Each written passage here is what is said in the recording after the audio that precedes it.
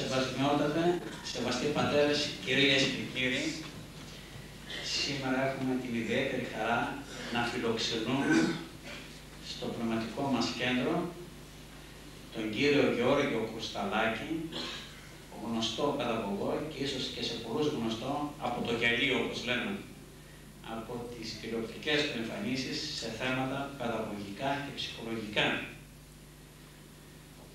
Είναι καθηγητής σήμερα της παιδαγωγικής του τμήματος της Φιλοσοφικής Σχολής.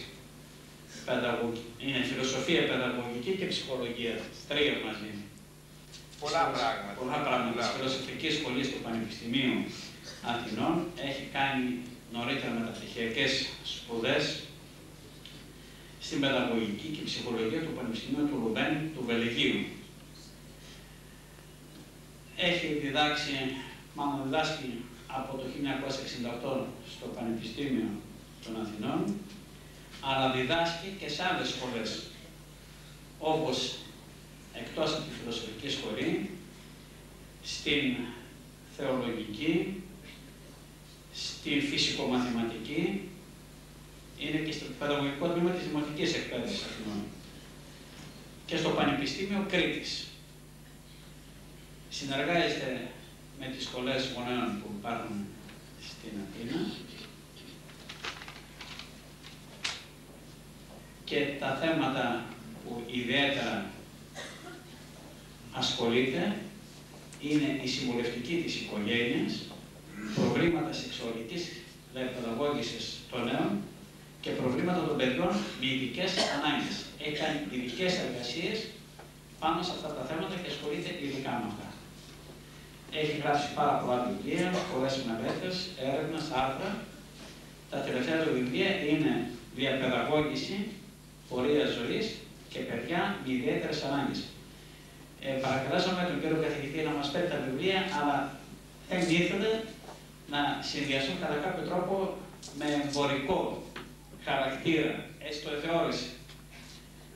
Εμείς όμως τον παρακαλούμε και πάλι να μας στείλει έναν αριθμό, διότι είναι πολύ αξιόλογα τα βιβλία και όπως θα δείτε και από την εισήγηση και από την εισήγηση και από τη συζήτηση που θα επακολουθήσει, πρόκειται για έναν πολύ αξιόλογο, είναι από τους λίγους παιδαγωγούς που διαθέτει σήμερα η χώρα, γνωστός και στο εξωτερικό από τα συνέδρια στα οποία συμμετέχει, αλλά θα τον απολαύσουμε και σήμερα και θα βγάλετε μόνοι σας τα συμπεράσματα. Ευχαριστώ πάρα πολύ εκ μέρους της Σχολής Γονέων που έκανε τον κόπο να έρθει από την Αθήνα με την εκλεκτή σύζυγό του, η οποία και αυτή είναι καθηγήτρια, αλλά ασχολείται περισσότερο με τα παιδιά. Έχουν τρία παιδιά, δύο είναι φοιτητές και ένα, ένα κοριτσάκι το οποίο είναι στο Δίκαιο. Τον ευχαριστώ λοιπόν και πάλι που έκανε τον κόπο να έρθει και το δίνουμε το λόγο. Καθίστε όμως. Όχι, δεν μπορώ να καθίσω. Όταν μιλώ, μιλώ πάντοτε όρθιος. Θα με συγχωρέσετε. Ωραία, όπως το λέω. Αυτό δεν σημαίνει ότι θέλω να σας διώξω, αλλά ως δάσκαλος πάντοτε μέχρι τώρα, μέχρι να πάρω σύνταξη, θα μιλώ όρθιος. Τελικά προβλήματα. Ποιητική, παρακαλώ, οι τελευταίοι μαθητές στο τέλος με ακούτε. Πολύ ωραία. Επομένως δεν έχω κανένα πρόβλημα. Α, ωραία, υπάρχουν ήδη εκεί. Πολύ ωραία. Εντάξει, ωραία. Ε,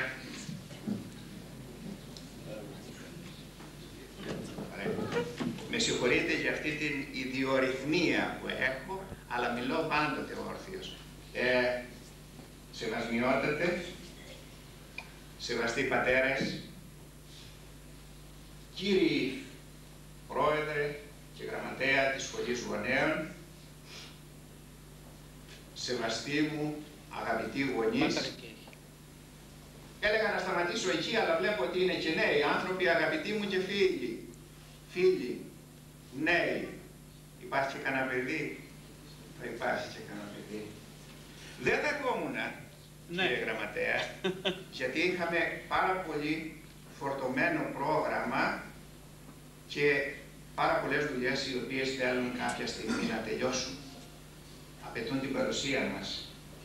Υπήρχε δυσκολία λοιπόν, αλλά ήρθα επειδή είδα το πρόγραμμά σας είδα ε, τους ομιλητές και τη σοβαρότητα των προσώπων αυτών και αποφάσισα τελικά να έρθω.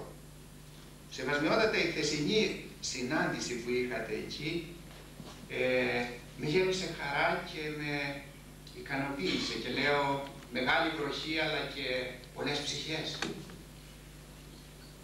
Και μετά από εκεί, απόψε το βράδυ, το βλέμμα σας και κυρίως η ζεστασιά της ψυχής σας. Σας ευχαριστώ πάρα πολύ γι' αυτό και επιτρέψτε μαζί να περπατήσουμε μέσα σε κάτι δρόμους που είναι σκοτεινοί. Είναι δρόμοι της καθημερινής μας ζωής, αλλά είναι δρόμοι που οδηγούν σε άγνωστα μονοπάτια. Ίσως εμείς φτάνουμε στο τέλος αυτά τα μονοπάτια και πονάμε. Από πού ξεκινούν αυτά τα μονοπάτια. Επιτρέψτε λοιπόν, με τη βοήθεια του Θεού, να καταθέσω την εμπειρία την οποία έχω, είναι ελάχιστη.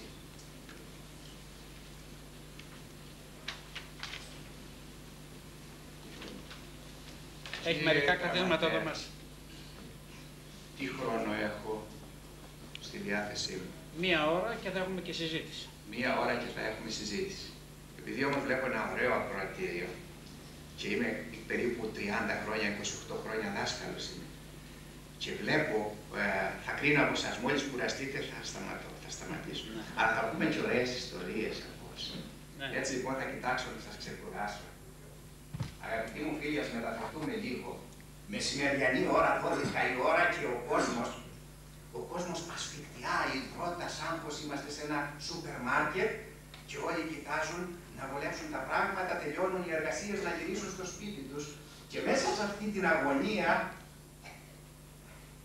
ένα καροτσάκι και μέσα στο καροτσάκι ένα μωρό και ένα γαλανό βλέμμα, μια ηρεμία ένα χαμόγελο και μια υπόσχεση ζωής και υπόσχεση ζωής. Ένας κάθιδρος υπάλληλος γυρίζει, κοιτάζει και αναπάβεται μέσα στο βλέμμα. Και το ερώτημα θα είναι έτσι και αύριο, θα ξεκουράζει και αύριο με το βλέμμα. Αγαπητοί μου φίλοι, πήγαμε κάποτε, ας είναι καλά ο άνθρωπος αυτός, ήταν στη δίωξη ναρκωτικών με μια ομάδα φοιτητών. Ακούσατε ήδη τον προβληματισμό που λέγαμε.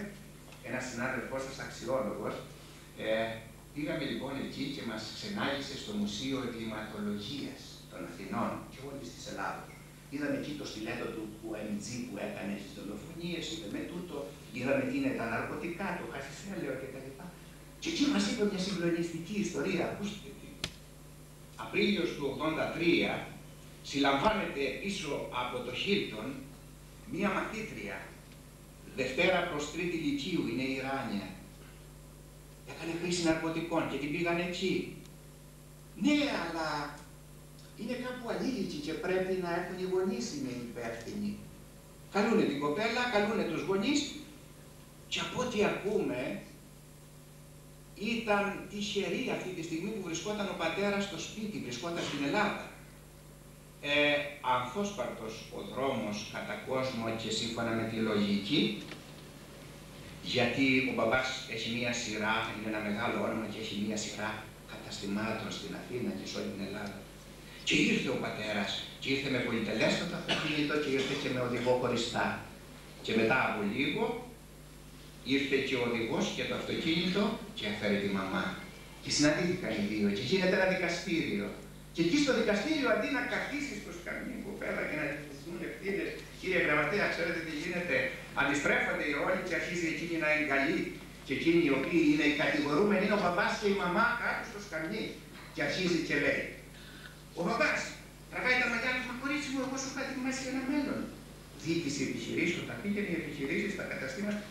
Ναι, αλλά ξέρεις, του λέει, γύριζες στι πρωτεύουσες της Ευρώπης, αλλά εγώ ήθελα έναν πατέρα. Και ήθελα έναν πατέρα τη στιγμή που τον είχα ανάγκη. Ήταν η στιγμή της εφηβεία. Και εσύ μητέρα, ήθελα μια μητέρα. Ξέρετε πότε την ήθελε, το πρωί, σε μια σήμαντη στιγμή, τότε που φεύγει και πηγαίνει στο σχολείο. Και θέλει μια μητέρα να κάθεται εκεί δίπλα, να φτιάξει ένα καφέ, ένα τσάι. Απλά πράγματα. Ένας καφές και ένα τσάι μπορεί να σημαδέψουν τη ζωή του. Και δεν ήταν κύμα. Γιατί το βράδυ είχε άλλες απασχολήσεις. Άλλο χαρτί έπεσε, δεν ξέρω. Αγαπητοί μου φίλοι, σαν τυράνια νέοι άνθρωποι, πάρα πολλοί άνθρωποι, οι οποίοι μας αγκαλιάζουν, μας θυσιάζουν κάθε μέρα, απλώνουν τα χέρια τους εν αγώνια ηγετευτικά, επιρρύπτουν ευθύνες, καταδικάζουν, απορρίπτουν, ζητούν μια σανίδα σωτηρίας. Να το πρόβλημα με το οποίο θα ασχοληθούμε σήμερα. Είμαστε εκεί εμείς, βλέπουμε τα απλωμένα χέρια. Μπορούμε να έχουμε μία απάντηση, μπορούμε να δώσουμε μία απάντηση στα μεγάλα αυτά θέματα. Το θέμα μας λοιπόν είναι το εξής. Το θέτω έτσι ώστε να δει ο καθένας, αν κουραστεί κάποια στιγμή, πάντοτε εγώ στο σχολείο, επειδή είναι πανεπιστημιακό επίπεδο, όποιος κουράζεται φεύγει, κουράζεται, ξαναμπαίνει. Εισάγω σε ένα δαιμόνιο, έτσι στο πανεπιστημίο. Λοιπόν, ανοιχτό πανεπιστημίο. Λοιπόν, έχω. Το θέμα μας είναι ε, γονείς και παιδιά στη σύγχρονη κοινωνία. Έτσι. Μια κοινωνία που έχει τα χαρακτηριστικά τα εξής. Αλωτρίωση, μόνος, άγχος, καταναλωτισμός, εύκολος πληθυσμός, έλλειψη αξιών, παραποίηση της πραγματικότητας της ζωής μέσα από αυτά τα θαυμάσια serials όπου από τις 7.30 ώρα μέχρι το βράδυ μας καθυλώνουν μπροστά στο γυαλί και μας παρουσιάζουν τον ιδανικό τρόπο ζωής. Και από την άλλη μεριά, η κλιματικότητα, ναρκωτικά, βία, από προσανατολισμός της οικογενειακής ζωής, οικογένεια, κοινωνία, το ένα μέσα στο άλλο, ψυχοπαθολογία μεγάλη στην ευρύτερη κοινωνία, ψυχοπαθολογία και τις λειτουργίες μέσα στο κοινωνικό πλαίσιο. Και εκεί μέσα μια μικρή ύπαρξη, το παιδί που πασχίζει να χτίσει το δικό του προσωπικό κόσμο. Δεύτερο θέμα, παιδευτικές λειτουργίες, ρόλοι των γονέων, επιτυχής, ανεπιτυχής, όπως είδατε στο θέμα αυτό. Και τρίτο, ένα ταπεινό μοντέλο, επιτρέψτε μου, το οποίο θα διατυπώσω, που είναι δομημένο επάνω στη διεθνή βιβλιογραφία, στην καθημερινή κλινική εμπειρία την οποία έχουμε, αλλά κυρίως επάνω στην ορθόδοξη ανατολική ανθρωπολογία και παιδεία των πατέρων και του Ευαγγελίου, που πιστεύω ότι είναι η μοναδική παιδαγωγία, αν θέλετε, ε, ψυχολογία, η οποία μπορεί να μας δώσει δυνάμεις για να λύσουμε και να αντιμετωπίσουμε τα μεγάλα προβλήματα. Αυτές είναι οι τρεις μεγάλες ενότητες. Στον χρόνο τον οποίο κοιτάζω, θα ασχοληθώ με αυτά τα θέματα. Συγχωρέστε με. Είναι ένα απέραντο θέμα. Γι' αυτό θα είμαι λίγο γρήγορος, θα πετάω, θα βλέπω την ώρα και όπου μπορώ θα εμβαθύνω, κάπου θα σταματώ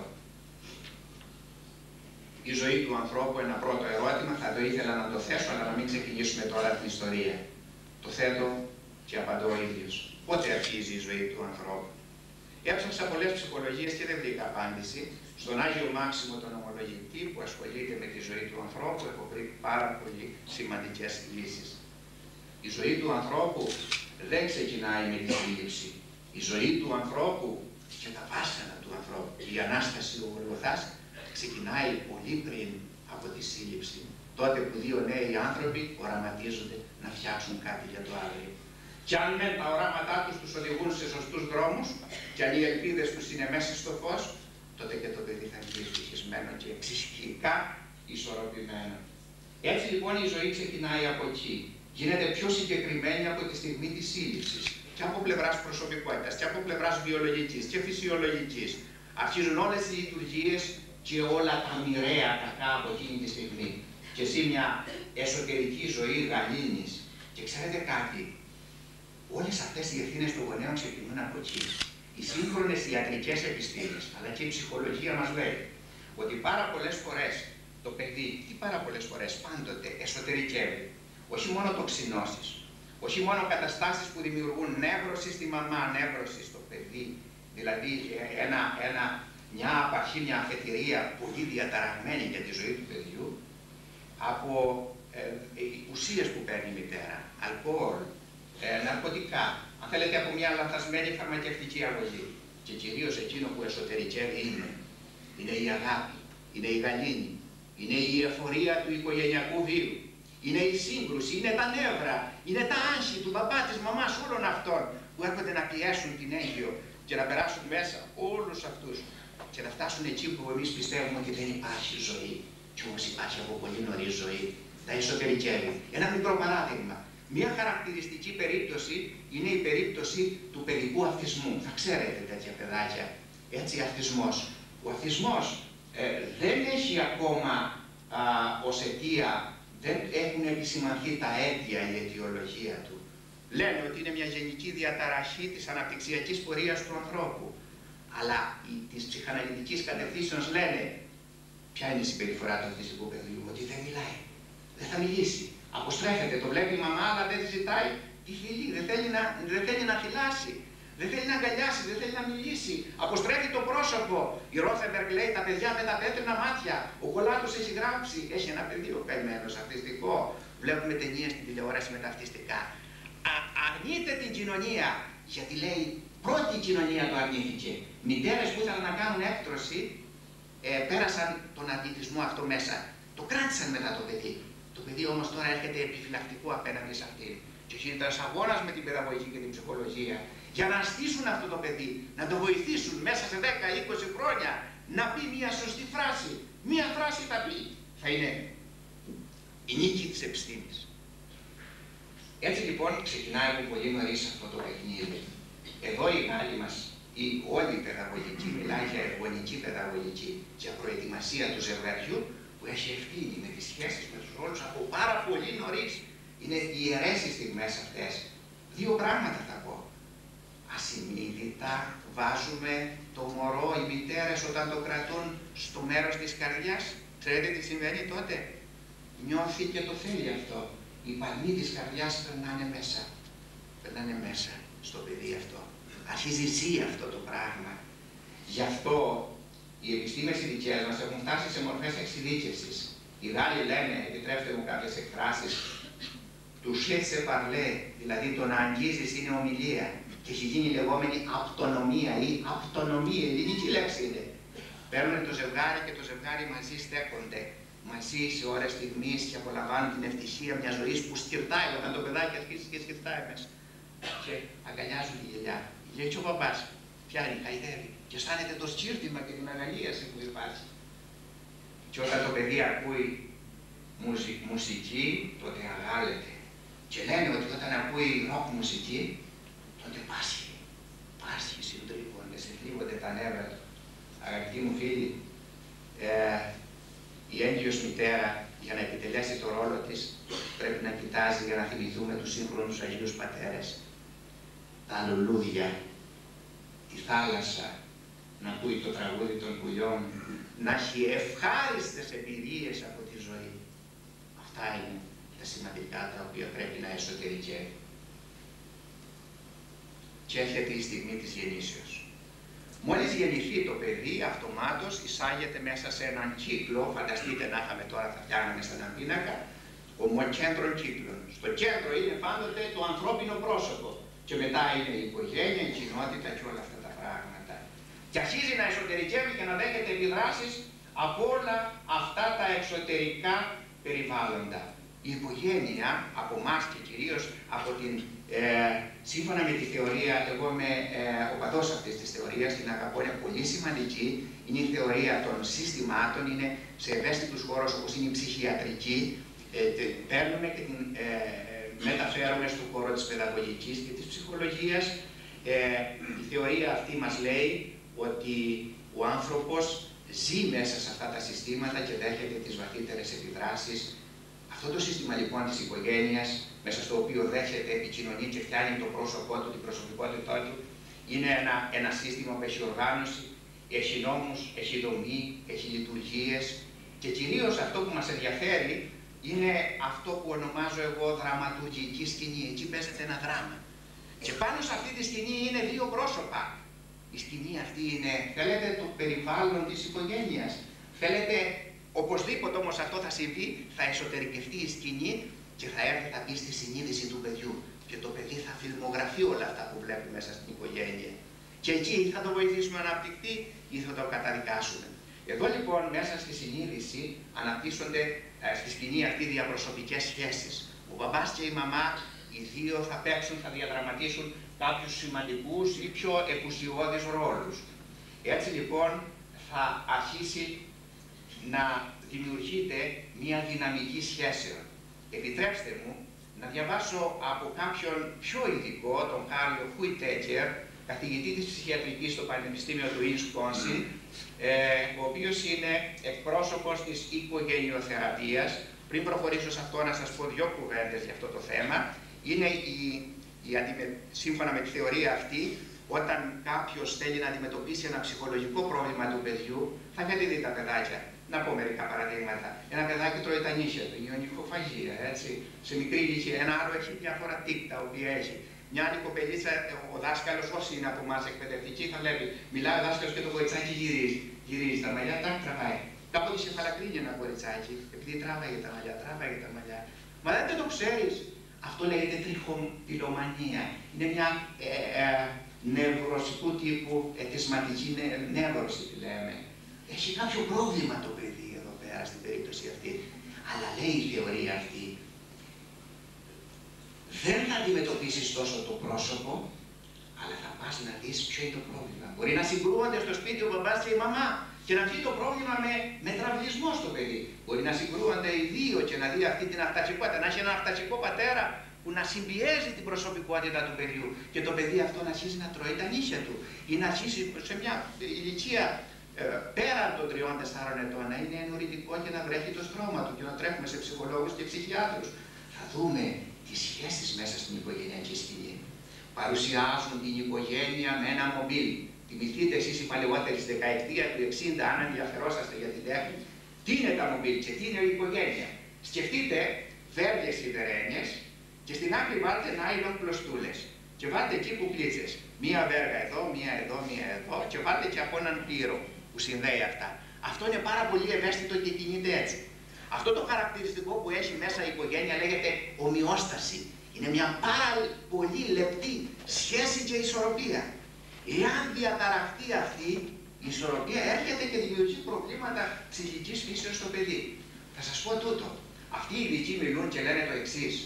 Φανταστείτε αυτό κρεμασμένο με τις κουκλίτσες, θα παίξει, θα παίξει, θα παίξει, κάπου θα ηρεμήσει. Αυτή είναι η ομοιόσταση.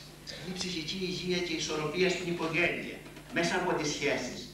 Σε κάποια στιγμή λοιπόν, εάν ανοίξουμε το παράθυρο και φυσήσει ένας δυνατός αέρας, όπου αυτό θα αρχίσει να πέσει. Εάν μπει ένα χέρι με ένα σαλίδι και κόψει μια κούκλα, αυτό θα παλατζάρει.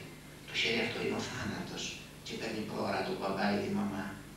Ο αέρας που θα φυσήσει είναι η βιαιότητα του πατέρα καμιά φορά και θα δούμε σε παιδιά που έχουν διαφυλετική διαταραχή στη διαμόρφωση της προσωπικότητας και της συμπεριφοράς του ομοφιλόφιλου αυτό το τελευταίο τι σημασία έχει. Εδώ μέσα λοιπόν πολλά μπορούν να μπουν και μέσα από αυτές τις διαδικασίες να διαταραχθεί το σύστημα. Αυτό που μας ενδιαφέρει είναι ότι η κατάσταση του συστήματος επηρεάζει το μέλος, δηλαδή τα παιδιά, τα πρόσωπα. Και η κατάσταση κάθε μέλους επηρεάζει και τα άλλα μέλη και το σύστημα ολόκληρο. Φανταστείτε έναν μπαμπά διαβητικό, που συνήθως ο ζαχαροδιαβήτη δημιουργεί μια ιδιορυθμία στη συμπεριφορά, πόσο νευρικός γίνεται και βάλτε ένα παιδί πόσο μπορεί να μελετήσει και πόσο μπορεί να έχει την ηρεμία αυτή. Και να βάλουμε τα διαστήγια και να βάλουμε όλα αυτά. Εδώ λοιπόν έρχεται ο Κάρλ Κουιτέκερ, εκπρόσωπος αυτής της θεωρίας και μας λέει: Ακούστε, οι βασικές στιγμές της επιστήμης που παρακολουθούν την οικογένεια και τους ρόλους των γονέων. Τα πρώτα χρόνια μετά το 1950 ανακαλύψαμε πως οι ψυχικά ασθενείς έχουν μητέρα. Ασφαλώς και έχουν μητέρα, αλλά εδώ η έννοια που έχουν είναι ότι είναι υπεύθυνοι για την ψυχική διαταραχή στη συμπεριφορά του παιδιού. Και για μεγάλο διάστημα βλέπαμε τη σχέση μάνας παιδιού σαν τον κύριο έλεγχο της ψυχικής διαταραχής. Τη μητέρα εδώ τη χαρακτηρίζουν ως σχιζοφρενογόνο μητέρας. Λοιπόν, όλα τα βάλει στη μαμά, χτυπάτε όλη τη μαμά. Δεν είναι μια πραγματικότητα αυτή, δεν ρίχνει μεταβάρει στη μητέρα. Ακούστε όμως τι έγινε παραπέρα. Λίγο αργότερα διαπιστώσαμε πως οι νέοι αυτοί άνθρωποι είχαν και πατέρα. Άρα εστράφει το ενδιαφέρον του άλλο πρόσωπο μέσα στο σύστημα, μέσα σε αυτό το σύστημα με τις κούκλες που είδαμε. Και πατέρα, υπεύθυνος και πατέρας. Αλλά δεν στάθηκε εκεί. Λίγο αργότερα η έρευνα έφτασε σε μια πιο ενδιαφέρουσα διαπίστωση. Τα παιδιά που παρουσίαζαν συγκρούσεις και προβλήματα στη συμπεριφορά είχαν και οικογένεια. Και αυτό το τελευταίο είναι στο οποίο σταματάει η παιδαγωγική και η ψυχολογία. Δηλαδή τι σημαίνει αυτό; Είχαν κυρίως οικογένεια. Σε κάθε περίπτωση προϋπήρχαν από καιρό σοβαρές δυσκολίες στη συζυγική ζωή των γονιών. Στο υπόβαθρο κάθε περίπτωσης υπεκρύπτεται κάποια συζυγική σύγκρουση. Το παιδί μόλις πάθαινε παρουσίαζε έκσταση στην ασθένεια, αμέσως το πήγαιναν στην κλινική και μόλις ήταν κάτω από τις συνθήκες αυτές, συμφιλίωσε ο παπάς και η μαμά, σχήμα το κεφάλι, ο γιατρός, οι γιατροί, η κλινική, πηγαίναμε όλοι. Μόλι παίρναμε λίγο χαρά και το παιδί έφυγε, πάλι τα φαγώματα, πάλι σύγκρουση, για να ξανάρθει πάλι το παιδί να κυλήσει. Και γίνεται ένας φαύλος κύκλος, και μέσα στο φαύλο κύκλο να σου δυστυχισμένοι όλοι. Αυτή είναι η αντιμετώπιση. Κυρίως κρατήστε λοιπόν μας χρειαστεί για τα παρατέρα. Είσαι πατέρα, είσαι μητέρα, κυρίω μας ενδιαφέρει, σβήστε τα άλλα οικογένεια. Δηλαδή όλοι μαζί είμαστε συνυπεύθυνοι για αυτό που θα προκύψει αργότερα. Μία άλλη της αυτής θεωρίας, η Βιρζινή Σαρτήρ, στο βιβλίο της Πλάθοντας Ανθρώπους λέει κάτι άλλο πολύ σημαντικό. Από πέντε χρονών θα αποφάσισα πως όταν μεγαλώσω θα γίνω μυστικός αστυνόμος των παιδιών για την παρακολούθηση των γονιών. Δεν ήξερα τι ακριβώς θα αναζητούσα, μα καταλάβαινα πως γίνονται στις οικογένειες πολλά που δεν τα βλέπει το ανθρώπινο μάτι. Υπήρχαν ένα σωρό ενίγματα που δεν ήξερα πώς να τα λύσω. Τώρα, ύστερα από τόσα χρόνια, και αφού δούλεψα με χιλιάδες οικογένειες, συναντώ ακόμα πάρα πολλούς γρήφου. Έμαθα πολλά από τη δουλειά μου και η γνώση παρέχει νέες δυνατότητες και νέες κατευθύνσεις στις έρευνες. Το βλέπω καθαρά πια πως η οικογένεια αποτελεί ένα μικρό κόσμο τη μικρογραφία του κόσμου. Ακούστε το εδώ αγαπητοί μου φίλοι απόψε και κλείστε το μέσα στην καρδιά σας. Να αλλάξω τον κόσμο σημαίνει να αλλάξω την οικογένεια. Επιτρέψτε μου να το επαναλάβω. Να αλλάξω τον κόσμο σημαίνει να αλλάξω την οικογένεια. Το λέει μια γυναίκα που είναι μοναδική στον τομέα της και έχει θεραπεύσει χιλιάδες ζευγάρια, νομίζω τότε που έγραφε το βιβλίο, 6.000 ζευγάρια με παγόβουνο μοιάζει, λέει, η οικογενειακή ζωή. Οι περισσότεροι έχουν υπόψη τους το ένα δέκατο πάνω κάτω από όσα συμβαίνουν, ότι δηλαδή βλέπουν και ακούνε. Φανταστείτε ένα παγόβουνο να το παρασέρουν τα κύματα και να πηγαίνει προς τα κάτω σιγά σιγά. Και εμείς βλέπουμε την κορφή του. Αλλά ακούτε τι λέει παρακάτω. Μερικοί υποψιάζονται ότι ίσως να υπάρχει και κάτι άλλο. Μα δεν ξέρουν τι ακριβώς, ούτε έχουν ιδέα με ποιο τρόπο θα μπορούσαν να το ανακαλύψουν; Η άγνοια βάζει καμιά φορά την οικογένεια σε επικίνδυνη πορεία. Όπως η τύχη του ναυτικού εξαρτάται από τη γνώση του πως ο κύριος όγκος του παγόβουνου απλώνεται κάτω από την επιφάνεια, έτσι και της οικογένειας η τύχη εξαρτάται από την κατανόηση των συναισθημάτων και των αναγκών που βρίσκονται κάτω από τα καθημερινά περιστατικά της οικογενειακής ζωής. Ας περπατήσουμε λοιπόν λίγο και πάνω στο παγόβουνο και κυρίως κάτω από το παγόβουνο. Τι διαδραματίζεται μέσα στην οικογένεια; Μέσα στην οικογένεια διαδραματίζεται κάποιοι ρόλοι. Από τις δικές μας επιστήμες, επιτρέψτε μου να τους ταξινομήσω. Σε πρώτο επίπεδο είναι η ρόλη του πατέρα. Είναι η λεγόμενη ρόλη του γονέα. Εκείνου που κατά σάρκα είναι υπεύθυνος αλλά και από πλευράς νομικής, αν θέλετε, και ηθικής και κοινωνικής, είναι ο υπεύθυνος που θα καλύπτει στη ζωή και θα δέχεται, θα το έχει το παιδί ως πρότυπο και από εκεί θα δέχεται όλη τη θαλπορή και την κάλυψη.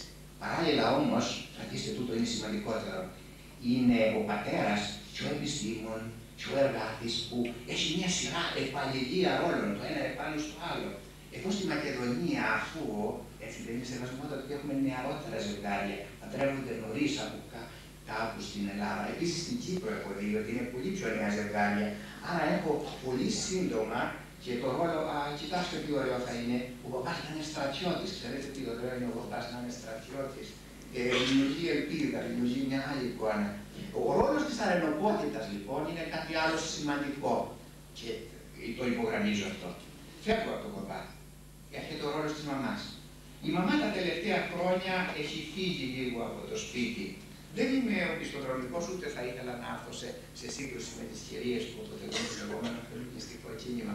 Απλώς κάνω μία διαπίστωση Και λέω το εξής, χωρίς να βάζω κάποια χρειά αξιολογική, ότι η γυναίκα και είναι πολύ ωραίο, βγήκε, άρχισε να ασχολείται με την εργασία, έχει βγει από το σπίτι και παίζει, διαδραματίζει και άλλους ρόλους πολύ σημαντικούς. Παραδείγματος χάρη σημειώνω εδώ, βλέπουμε ότι έχει μια συμμετοχή στα αγαθά της παιδείας που δεν υπήρχαν παλαιότερα. Ψάξτε τα πανεπιστημιακά βιβλία να δείτε πόσοι εγγράφονται στην ιατρική σχολή, πόσες γυναίκες στη σχολή τη δική μας. Ήσαν δασκάλες, παραδοσιακά πράγματα και τέτοια. Μετά στη νομική σχολή, κύριε Εισαγγελέα, τι γινόταν, ε; Κύριε Γραμματέα, στη νομική σχολή ήταν κα, καθαρά ανδροκρατούμενος. Όπως σήμερα στη σχολή τη δική μας είναι όλο γυναικείο πληθυσμός.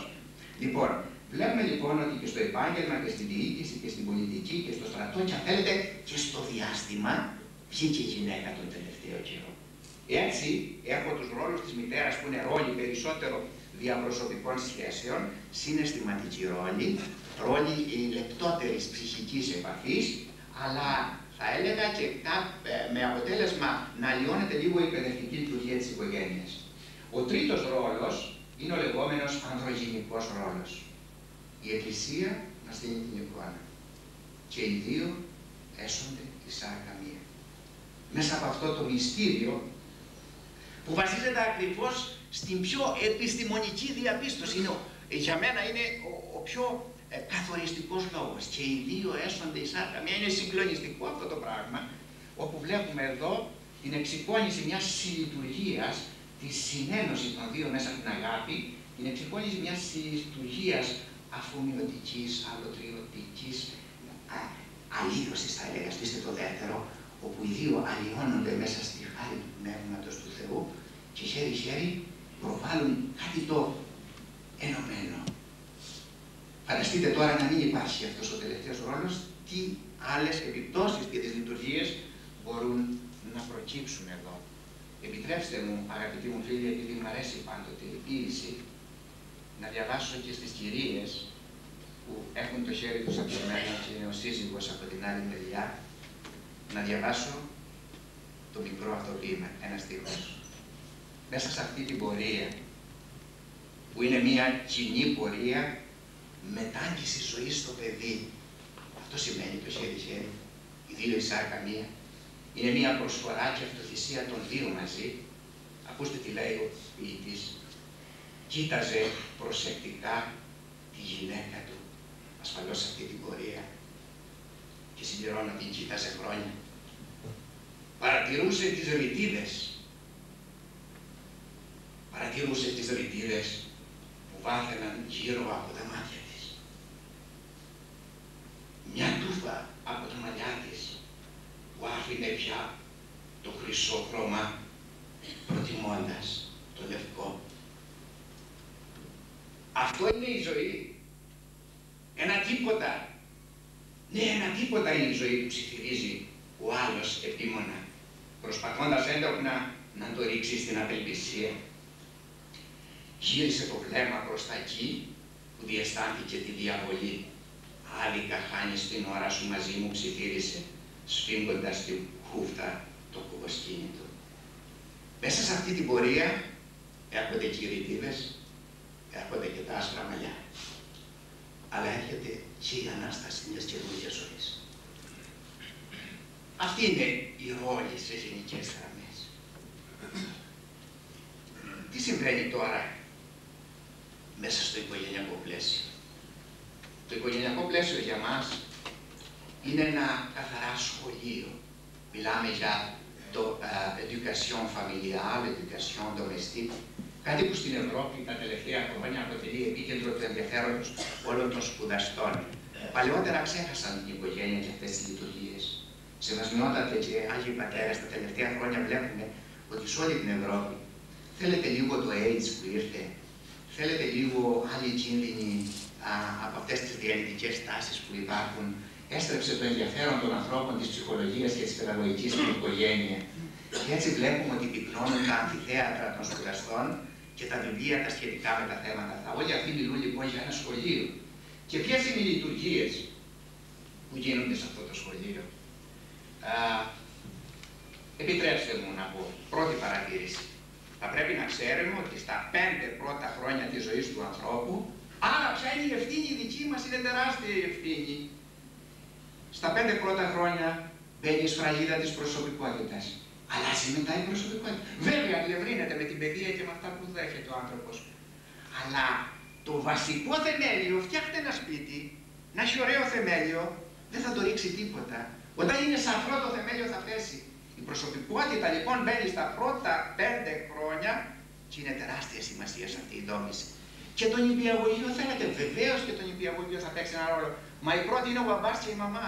Η αμόρφωτη κατά κόσμο, ο μπαμπάς και η μαμά, αλλά οι δύο πιασμένοι χέρι-χέρι, που θα γερνάνε και θα ρητηδιάζουν. Πέντε πρώτα χρόνια. Και γιατί είναι σημαντικό αυτό το περιβάλλον, για τους εξής λόγους για τις δικές μας τις λεγόμενες ανθρωπολογικές επιστήμες. Διότι εκεί η ύπαρξη των ιδιαίτερων φυσικών δεσμών, δηλαδή η εξαίματο Κάτι λέμε, το αίμα μιλάει, μπορεί να είναι δύο άγνωστοι που να συγκεντρωθούν, να, να συνενωθούν μετά από χρόνια. Η καρδιά μιλάει, το αίμα μιλάει, είναι ο πατέρας και η μητέρα. Ποιος δάσκαλος μπορεί να παίξει τέτοιο ρόλο όσο ο πατέρας και η μητέρα; Εδώ λοιπόν, άσε βαθμότατε, δεν είναι τυχαίο. Στις δύο δεν είχαμε τη γιορτή της μητέρας. Είναι επίκαιρο επομένω το θέμα μας. Να κύριε Γραμματέα, είναι επίκαιρο λοιπόν στη γιορτή, ας το κάνουμε έτσι. Τέλος πάντων.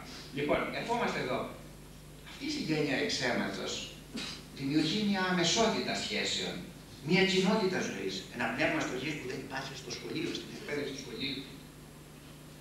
Από πλευρά συναισθηματικής κάτι πάλι πολύ σημαντικό. Δημιουργεί συναισθηματικούς δεσμούς, περισσότερο τρυφερότητας, ευσυγκινησία, αυστηρότητας, δημιουργεί τις περίφημες σχέσεις πατρότητας, μητρότητας, ιότητας.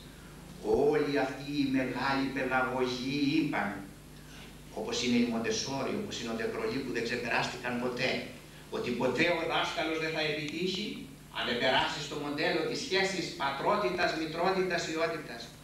Όταν ο δάσκαλος δώσει ψυχή και αίμα από την καρδιά του, τότε θα είναι ο δάσκαλος ο επιτυχημένος. Εδώ όμως παρατηρώ και κάτι άλλο. Μερικές φορές προχωράμε σε ε, καταστάσεις της λειτουργίας. Οι δικοί μας μιλούν για nœud de relation. Nœud de relation, η nœud de vipère, όπως λέγεται, η κορδόν ομπιλικό, είναι ο ομφάλιος λόρος, σχέσεις εχυμνών, σαν και αυτό που ο Μέγας Αλέξανδρος, ε, το nœud de relation, είναι αυτό που κόβεται μόνο με σπαθί. Είναι για την αγάπη σου Μα αγαπάει η μαμά και σε σφίγγει και σε σφίγγει και σε σφίγγει. Είναι συνασπιότατα αυτό που λέγαμε προηγουμένω. Είναι η υπερβολική αγάπη. Αγαπώ το παιδί μου. Είναι οι σχέσει του ομφαλίου λόγου. Εδώ ακριβώ γίνονται τα μεγάλα και τα θανάσιμα σφάλματα από τους γονείς. Η μαμά του σήμερα θα γίνει η πεθερά του αύριο που θα βάλει το χέρι της, θα βάλει την ουρίτσα της, ας πούμε, έχει άλλη σημασία η ουρίτσα, μέσα ακριβώς στο ζευγάρι και θα το διαλύσει με όλες τις άλλες συνέπειε οι οποίες ακολουθούν. Οι μεγάλες στιγμές της παιδευτικής λειτουργίας που διαδραματίζονται αυτή η ρόλη είναι δύο. Η μία, που τη ξέρουμε, ξεκινάει και φτάνει μέχρι το δημοτικό σχολείο, η λεγόμενη latence περίοδος της λανθάνουσας σεξουαλικότητας, όπου το παιδί είναι ήρεμο, αφήνεται στους γονείς και λέγεται αυτή η χρυσή περίοδος της παιδαγωγικής. Ε, δεν μας ακούει το παιδάκι, ε, ε, ε μας ακούει, μας ακούει, έρχεται μαζί μας, έρχεται μαζί μας. Φτιάνουμε, λέει, μου λέει ένας φίλος μου, ωραίο, εξοχικό και έρχονται τα παιδιά, παίζουν, πάμε στην εκκλησία. Αλλά μετά από λίγα χρόνια μείνουν οι δυο μας έρημοι. Δεν μας ακολουθούν. Ακολουθούν τους δικούς τους δρόμους. Ερημιάς στο σπίτι. Έρχεται η εφηβεία. Και όταν έρθει η εφηβεία, τότε αρχίζει η αμφιβολία, αρχίζει η επανάσταση, αρχίζουν, αρχίζουν τα μεγάλα ερωτηματικά. Ηλικία 11, 12,5, 13, 15, 18, αυτοκατάφαση, επανάσταση, πρωτοτυπία, Όλα αυτά στα οποία θα γυρίσουμε και στη συνέχεια, αγαπητοί μου φίλοι, είναι πολύ σημαντικά. Πόσο οι γονείς τα ξέρουν, πόσο είναι έτοιμοι για αυτές τις μεγάλες αλλαγές; Ποιες είναι τώρα αυτές οι λειτουργίες; Μερικές παρατηρήσεις για τη μεθοδολογία που χρησιμοποιούμε. Η μεθοδολογία μας παραδοσιακά είναι ο λόγος, ο παιδευτικός λόγος. Σήμερα οι επιστήμες μας λένε, και το ξέρουμε αυτό και στο σχολείο, ότι ο λόγος χρεοκόπησε, έχει χρεοκοπήσει. Επιτρέψτε μου σεβασμιότατα να το τονίσω ότι έχει χρεοκοπήσει και στην Εκκλησία και ε, πιστεύω ότι εκείνο που λείπει είναι το βίωμα και το παράδειγμα. Επομένως, ερχόμαστε ακριβώς αυτό που είναι, έχει χρεοκοπήσει και μπορώ να το πω και εγώ γιατί είμαι Εκκλησία και πάσχω και πονώ. Δεύτερον, ε, βγάζω παιδαγωγούς και είμαι υπεύθυνος διότι έχουμε χρεοκοπήσει στο σχολείο. Κάναμε υπαλλήλους, με συγχωρείτε πάρα πολύ και θα το ξέρετε, που κοιτάνε την ώρα τους μόλις χτυπήσει το κουδούνι να φύγουν. εξαιρούνται οι παρόντες, διότι αφού μπήκαν μέσα και είναι εδώ, είναι ε, ε, ευσυνείδητοι, ενσυνείδητοι παιδαγωγοί, έτσι. Λοιπόν, έχω εγώ, ρίχνω το λίθο απέναντί μου, πετροβολώ τον εαυτό μου αυτή τη στιγμή, γιατί εγώ μου υπεύθυνο που φτιάχνω του παιδαγωγού. Όταν λέω εγώ, εμείς, οι πανεπιστημιακοί, έτσι δεν είναι. Αυτή τη στιγμή λοιπόν λειτουργούμε με το βίωμα και ακούστε μερικά πράγματα στη μεθοδολογία. Είναι ο λόγος. Είναι το βίωμα. Είναι, θα έλεγα, αυτός που λέγεται μη λεκτικός κώδικας. Δηλαδή είναι η σιωπή. Η σιωπή είναι ο πιο μεγάλος διδακτικός και θεραπευτικός λόγος. Δεν θα πρέπει οι γονείς να μιλούν πάντοτε, θα πρέπει να σιωπούν. Και όταν σιωπούν, διδάσκουν, λένε οι μεγάλοι πατέρες της Εκκλησίας και για τους χειροδάτε εκείνους που διδάσκουν με τη σιωπή τους.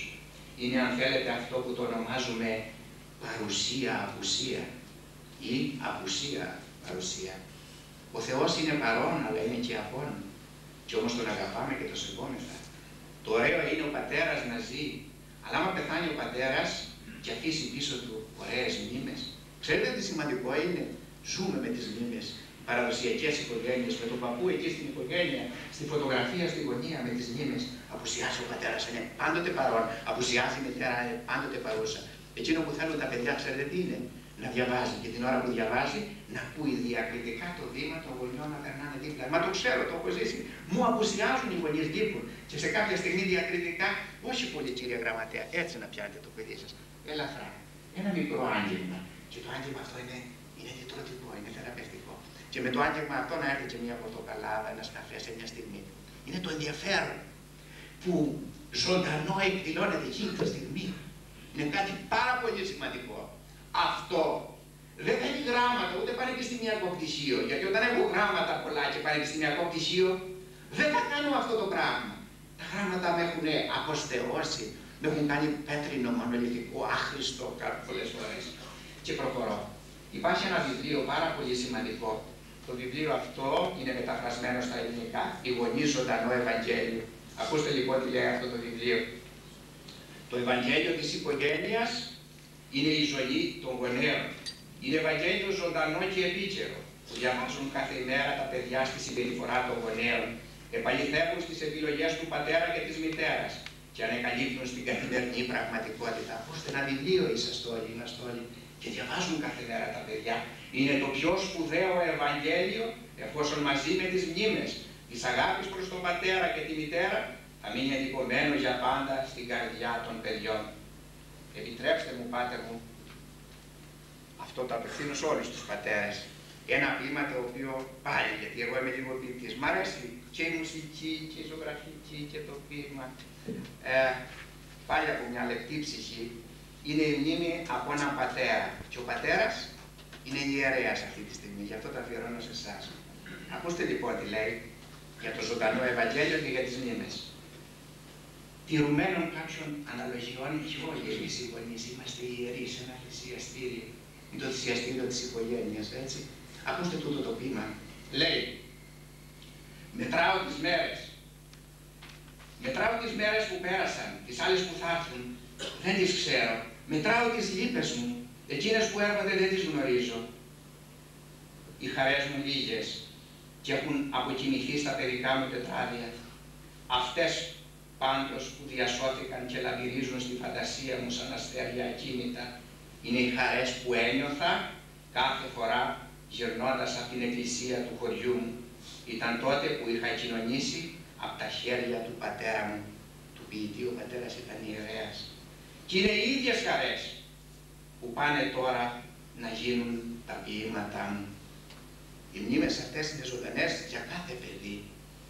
Εδώ η ψυχολογία, η λεγόμενη ε, και η εκπαιδευτική ψυχολογία, αλλά και η θρησκευτική ψυχολογία, μιλάει για μια διαδικασία που λέγεται διαδικασία της divinization, δηλαδή της θεοποίησης του πατέρα. Ακούστε δηλαδή τι συμβαίνει.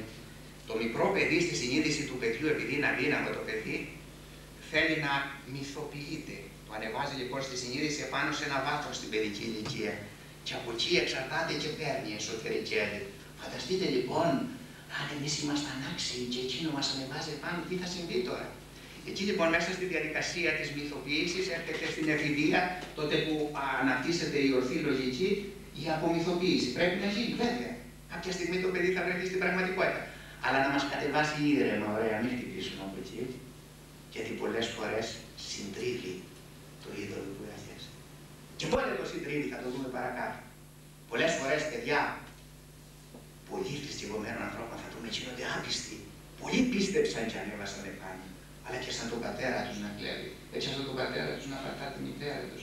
Είδαν τέτοιες αντιφάσεις μέσα στη ζωή και στο λόγο. Η ζωή μου και η ζωή του παιδιού κάτι άλλο. Και τον κρέμισαν από το βάθρο αυτό. Και έγιναν αναρχικοί. Κάποτε, κύριε Εισαγγελέα, συνελήφθη στη Σόλωνος μια κόρη ενός συναδέλφου σας να σπάζει βιτρίνες και την έπιασαν και εκεί είδαν. Δεν ξέρω αν το είπατε, εμά του φτιάχνει μια σκληρότητα, θέλει μια πειθαρχία στη ζωή. Κάποιος μας παραφέρνει, κυρίως εμάς τους εκπαιδευτικούς, τους δικαστικούς, και μας κάνει σκληρούς στη ζωή. Και θέλουμε έναν τέτοιο τύπο και τα παιδιά αντιδρούν σε αυτή την αυταρχικότητα. Προχωρώ. Βλέπω και το ρολόι τι τρέχει, έχω χρόνο ακόμα, εντάξει, επομένως. Λοιπόν, εδώ λοιπόν ε, φτάνουμε σε ένα σημείο που θέλω να δω αυτές τις λειτουργίες. Ποιες είναι αυτές οι λειτουργίες; Οι λειτουργίες αυτές είναι καταρχήν πολύ νωρίς, είναι απλές λειτουργίες αυτοϊπηρέτησης του παιδιού, που γίνονται είτε με λόγο, είτε με το παράδειγμα. Είναι λειτουργίες κοινωνικής συμπεριφοράς, αγωγής ηχείας, αγωγής τουαλέτας. Απλά πράγματα. Απλά καθημερινά πράγματα. Έτσι, παιδί μου, έτσι τρώμε. Όταν έρχεται ο άλλος θα σηκωθούμε. Είναι πολύ κακό να πούμε στο παιδί, είδατε τον κύριο, τον χαιρετήσατε, του πληγώνει το παιδάκι. Να έχουμε φροντίσει να το έχουμε μάθει αυτό. Όταν κάθεται ο άλλος να έχουμε μάθει, να μην είμαστε εμείς παρόντες και να σηκώνεται στο τρόλιο όταν δει. Μα δεν σηκώνονται, είναι στρογγυλοκαθισμένοι και μπαίνει ιερέας και δεν σηκώνεται κανένας. Από ποιον να ζητήσουμε την ευθύνη. Εδώ λοιπόν δεν έχουν γίνει οι βασικές αυτές λειτουργίες. Όταν τρώμε, δεν σηκώνουμε το πιάτο στη σούπα για να φάμε μέχρι τέλο. Η σούπα θα μείνει εκεί. Όταν τρώμε, μιλάμε συνήθως με κλειστό το στόμα ή αποφεύγουμε να μιλάμε. Αυτά τα λέμε ή δεν τα λέμε ή τα βιώνουμε και τα βλέπει και τα εσωτερικαίρει το παιδάκι. Είναι βέβαια. Αυτά τα μαθαίνει εκεί πέρα, σε κανένα σχολείο, σε κανένα πανεπιστήμιο. Και είναι πολύ σημαντικά. Δεύτερη σειρά διεργασιών. Α, με συγχωρείτε, εδώ θα πω κάτι. Είναι ο τομέας που αγαπώ. Αυτό θα το κάνουν μια ζωή κάποιοι γονείς. Προσέξτε τι θα πω. Δεν θα πω να τους τίποτα άλλο. Που είχαν την ευλογία από το Θεό να πάρουν ένα στεφάνι παραπάνω από εμάς. Είναι οι γονείς που έχουν ένα ανάπηρο παιδί. Και το θεωρώ πάρα πολύ σημαντικό. Ένα ανάπηρο παιδί. Ένα παιδί σπαστικό. Ένα παιδί που μπορεί να είναι τυφλό, να είναι οδαρικό, να έχει μια διαταραχή συναισθηματική. Αυτή ο γονείς. Μια ολόκληρη ζωή θα κάνουν έναν αγώνα για να μάθουν αυτό το παιδί. Ξέρετε ποιε κινήσει να κάνει. Αν είναι ένα σπαστικό παιδάκι και έχει κεφαλοπάθειε και έχει τετραπληγία, διπληγία, ό,τι έχει. Ή όχι τετραπληγία, γιατί τετραπληγία θα μείνει στο καροτσάκι. Εν πάση περιπτώσει, όποια δυσλειτουργία εγκεφαλική ελάχιστη ότι έχει, θα δείτε θα κάνει την κίνηση αυτή να βάλει το παντελόνι, το, το που κάνει μέσα στο παντελόνι. Αν δεν την κάνει, εμείς τη θεωρούμε αυτονόητη. Θα γίνει ο αγώνας για την αυτοϋπηρέτηση. Να μπει στην τουαλέτα και να αυτοϋπηρετηθεί, να μπορέσει να τίνεται, να κουμπώνεται, να κτενίσει τα μαλλιά του, ξέρετε, μεγάλη υπόθεση. Και θα νικήσεις στη ζωή. Αν το βοηθήσει μαζί με τον λόγο, με κάποια ε, εύλογης μορφής συμπεριφορά κοινωνική, να επιτύχει και αυτές τις λειτουργίες. Μεγάλο αγωνίσμα. Επομένως πρέπει να μιλάμε για όλους. Λίγοι αυτοί αλλά και οι άνθρωποι αυτοί πρέπει να πούν αυτό που γίνεται εδώ. Και το λέω αυτό κυρίως για εμά που τα θεωρούμε αυτονόητα. Είναι μεγάλες λειτουργίες που γίνονται στην οικογένεια. Δεύτερο είναι η κοινωνικοποίηση. Η κοινωνικοποίηση είναι κάτι πολύ σημαντικό. Δηλαδή είναι το θέμα γλώσσας, ανάπτυξης ειδικής συνείδησης, σεξουαλικής διαπαιδαγώγησης, συμβουλευτικής ως προς τον επαγγελματικό προσανατολισμό. Όλα αυτά θα τα, θα τα δεχτεί ως πληροφορίες και θα τα ζήσει μέσα στο περιβάλλον. Θέλετε κάπου να μείνω; Θα μείνω σε δύο θέματα λίγο. Είναι το θέμα, σεβασμιότατε, της θρησκευτικότητας. Η θρησκευτικότητα του παιδιού μέχρι την εφηβεία είναι η θρησκευτικότητα χωρίς καμία αλλαγή την οποία βιώνουν οι γονείς. Ξέρετε πόσο σημαντικό είναι να δει τον παπά να διαδραματίζει τον παιδευτικό θρησκευτικό του ρόλο. Να θυμάται την ιερή μνήμη του πατέρα που λιβανίζει τα εικονίσματα. Του πατέρα που δεν είναι αυταξικός, και λέει, σηκωθείτε όλοι, θα πάμε στην εκκλησία και να, κάνουμε μια κακομοιριά, αλλά που έμαθε τα παιδιά με ευχαρίστηση να ξυπνάνε αυτά πρώτα. Του πατέρα εκείνου που συζητάει τα ωραία και διαβάζει το Ευαγγέλιο, που τον βλέπει να είναι δίκαιο, να στερείται, αλλά να κάνει την ελεημοσύνη. Σήμερα η θρησκευτική ψυχολογία λέει το εξής. Ε, επιτρέψτε μου που χρησιμοποιώ α, γνώση κοσμική και ανθρώπινη, αλλά θα δείτε ότι είναι σύμφωνη με τη πίστη μας. Λένε ότι όταν διδάξουμε ε, αν θέλετε, τις βασικές αρετές που λέμε οι ιδιότητες του Θεού. Ο Θεός είναι παντοδύναμος, ο Θεός είναι δίκαιος. Όλα αυτά το παιδάκι δεν μπορεί να τα συναντήσει αφηρημένα. Αλλά πού θα τα δει, θα τα δει μέσα από τη συμπεριφορά του πατέρα. Γιατί ο πατέρα είναι ο πρώτος. Και λέμε να κάνουμε ένα πείραμα και βάλουμε ένα μεγάλο προβολέα εδώ και εδώ το, το, το, το, το πρόσωπο του πατέρα. Θα δείτε πέρα, πέρα, πέρα, θα μεγεθυνθεί και θα φτάσει στον τύπο, θα γίνει πελώριο. Αυτή η μεγέθυνση είναι αυτό που καλύπτει το μεγαλείο της συνείδησης του παιδιού μέσα από τον πατέρα θα περάσουν. Γιατί ο πατέρα μιλάει για τη θρησκεία, ο πατέρας. Κάτι άλλο που τολμώ να το πω και το έχω πει και αλλού σεβασμιότατε και δεν με έχουν, δεν μου έχουν πει, απέστε μου αν κάνω λάθος. Πιστεύω ότι το δόγμα της Αγίας Τριάδος, που είναι πολύ δύσκολο και για μας όλους, αλλά για ένα μικρό παιδί, που είναι ακριβώς η απέραντη αγάπη και η ενότητα των τριών προσώπων, δεν διδάσκεται αλλιώ παρά μόνο μέσα από την ιερή αγάπη των τριών προσώπων της οικογένειας. Έτσι θα έρθει η εφηβεία. Στην εφηβεία θα αμφισβητήσει. Δεν θα γίνει άριστος, θα αμφιβάλλει. Θα κρίνει και θα ξαναγυρίσει. Συνήθως οι νέοι γυρίζουν. Δεν είναι άριστοι. Το άλλο είναι το θέμα της σεξουαλικής ανάπτυξης. Επιτρέψτε μου λίγο εδώ περισσότερο. Το θέμα της σεξουαλικής ανάπτυξης του ανθρώπου. Ο άνθρωπος ως προς το φύλλο του αναπτύσσεται με κάποιες καταβολές με έναν γενετικό προγραμματισμό από τη στιγμή της σύλληψη. Τότε παίζει ιδιαίτερο ρόλο το λεγόμενο α, σεξουαλικό χρωμόσωμο. Εκείνο θα παίξει το ρόλο. Εάν υπάρχει κάποια ασάφεια, η ασάφεια θα ακολουθήσει στη συνέχεια. Έχω λοιπόν ένα επίπεδο με τη σύλληψη όπου προγραμματίζεται ένας να γίνει άντρα ή γυναίκα. Έτσι, ξεκινάμε. Έχουμε τη γέννηση. Από τη γέννηση και μετά έχω μια συνεχή διαφοροποίηση. Ξέρετε οπωσδήποτε ότι σε μια στιγμή, στους δύο πρώτους μήνες προς το τέλος του δεύτερου μηνός, έχουν αρχίσει και διαφοροποιούνται τα σεξουαλικά χαρακτηριστικά. Εάν έχουμε μια αποβολή και δούμε το έμβριο, υπάρχει μια στιγμή που έχουμε όμοιους κυταρικούς σχηματισμούς. Δηλαδή, δεν θα γνωρίσουμε ότι το παιδί έχει φίλο. Δεν το γνωρίζουμε, δεν φαίνεται αν είναι αγόρι ή κορίτσι. Σιγά σιγά γίνονται οι διαφοροποιήσεις, τελειοποιημένος από πλευράς οργανικής, έτσι, σωματικής, θα βγει ο άνθρωπος, θα γεννηθεί και θα βγει στον κόσμο. Και από εκεί και πέρα θα πορευτεί. Και ανάλογα με τα δεδομένα που έχει, αναπτύσσεται στο λεγόμενο γοναδικό φύλλο, γονάδε είναι τα βασικά όργανα, τα οποία μέσα, αφού ενεργοποιηθούν στην ενήλωση, θα δώσουν στον άντρα και στη γυναίκα τα βασικά χαρακτηριστικά να έχει άντρα στη γυναίκα. Ωραία μέχρι εδώ. Τι φταίνει οι γονεί. Ακούστε όμως, δεν αρκεί μόνο ο γενετικός καμπάς και το υπόβαθρο, το βιολογικό και το φυσιολογικό που θα αρχίσει με το καταμήνιο κύκλο, με την ανάπτυξη, παραγωγή σπέρματος κτλ. Από εκεί και πέρα βιώνει το παιδί το λεγόμενο ψυχοκοινωνικό φύλλο. Δηλαδή, θα ταυτιστεί με τον μπαμπά και τη μαμά, θα δει τις συμπεριφορές, θα τις εσωτερικεύσει και από εκεί θα αρχίσει να εγγράφει. Και θα πάρει τους τρόπους του πατέρα και θα πάρει και τρόπους από τη μητέρα. Και το κορίτσι από την μια μεριά και το αγόρι. Και θα δείτε ότι θα φτάσει σε ένα τέτοιο σημείο που θα σηκώνετε το τηλέφωνο, δεν το έχετε πάρει αγαπητοί μου φίλοι, και θα λέτε βρε, εσύ είσαι Σπύρος. Όχι, όχι, είμαι ο γιος του γονίκος. Μια τέτοια ημιμορφία ως προς τη φωνή, που είναι χαρακτηριστικό δευτερεύον σεξουαλικό χαρακτηριστικό, ο τόνος της φωνής. Η κίνηση, η στάση του σώματος, τα πάντα και λεπτότερες άλλες διαδικασίες που δεν είναι το θέμα αυτή τη στιγμής. Είναι παρόν πάντοτε ο πατέρας για να παίξει αυτό το ρόλο. Είναι παρούσα η μητέρα για να παίξει αυτό το ρόλο.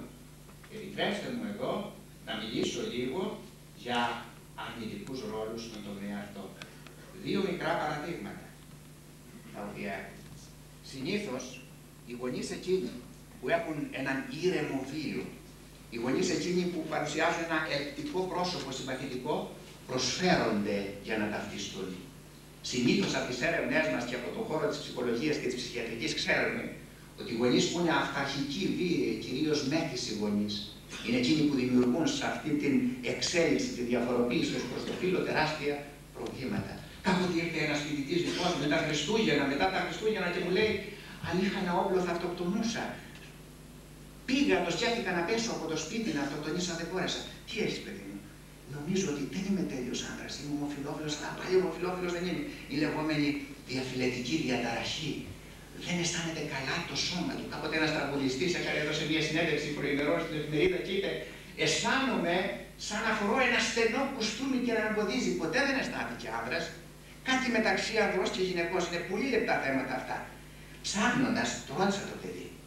Ο πατέρας μου λέει είναι μέθησος, ήταν βίαιος. Ποτέ δεν τον αγάπησα. Αγάπησα και αγκάλιασα τη μητέρα μου, έριξα εκεί. Το κατάλαβα αμέσως.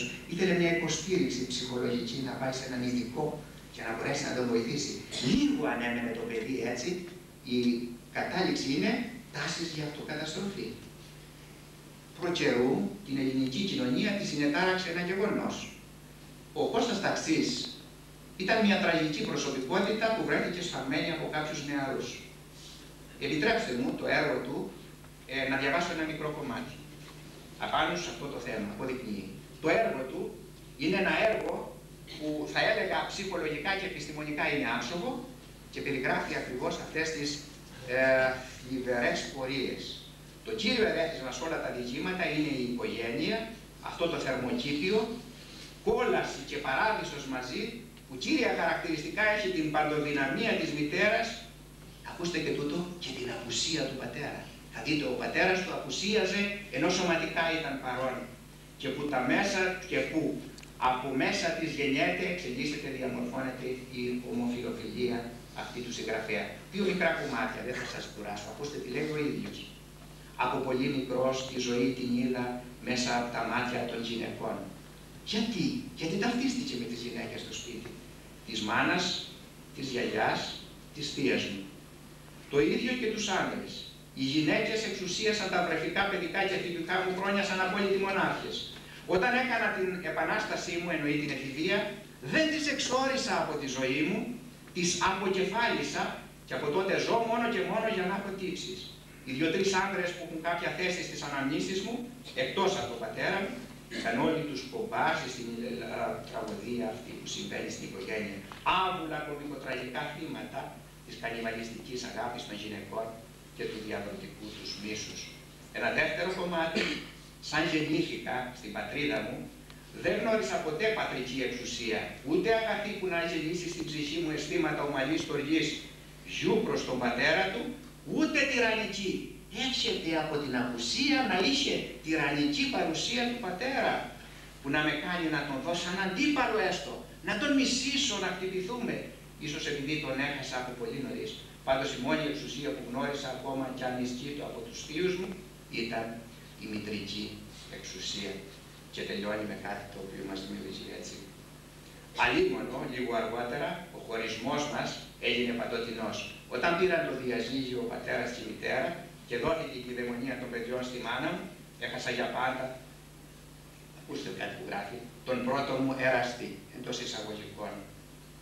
Ναι, όχι πως ξανά τον πατέρα μου σαν εραστή.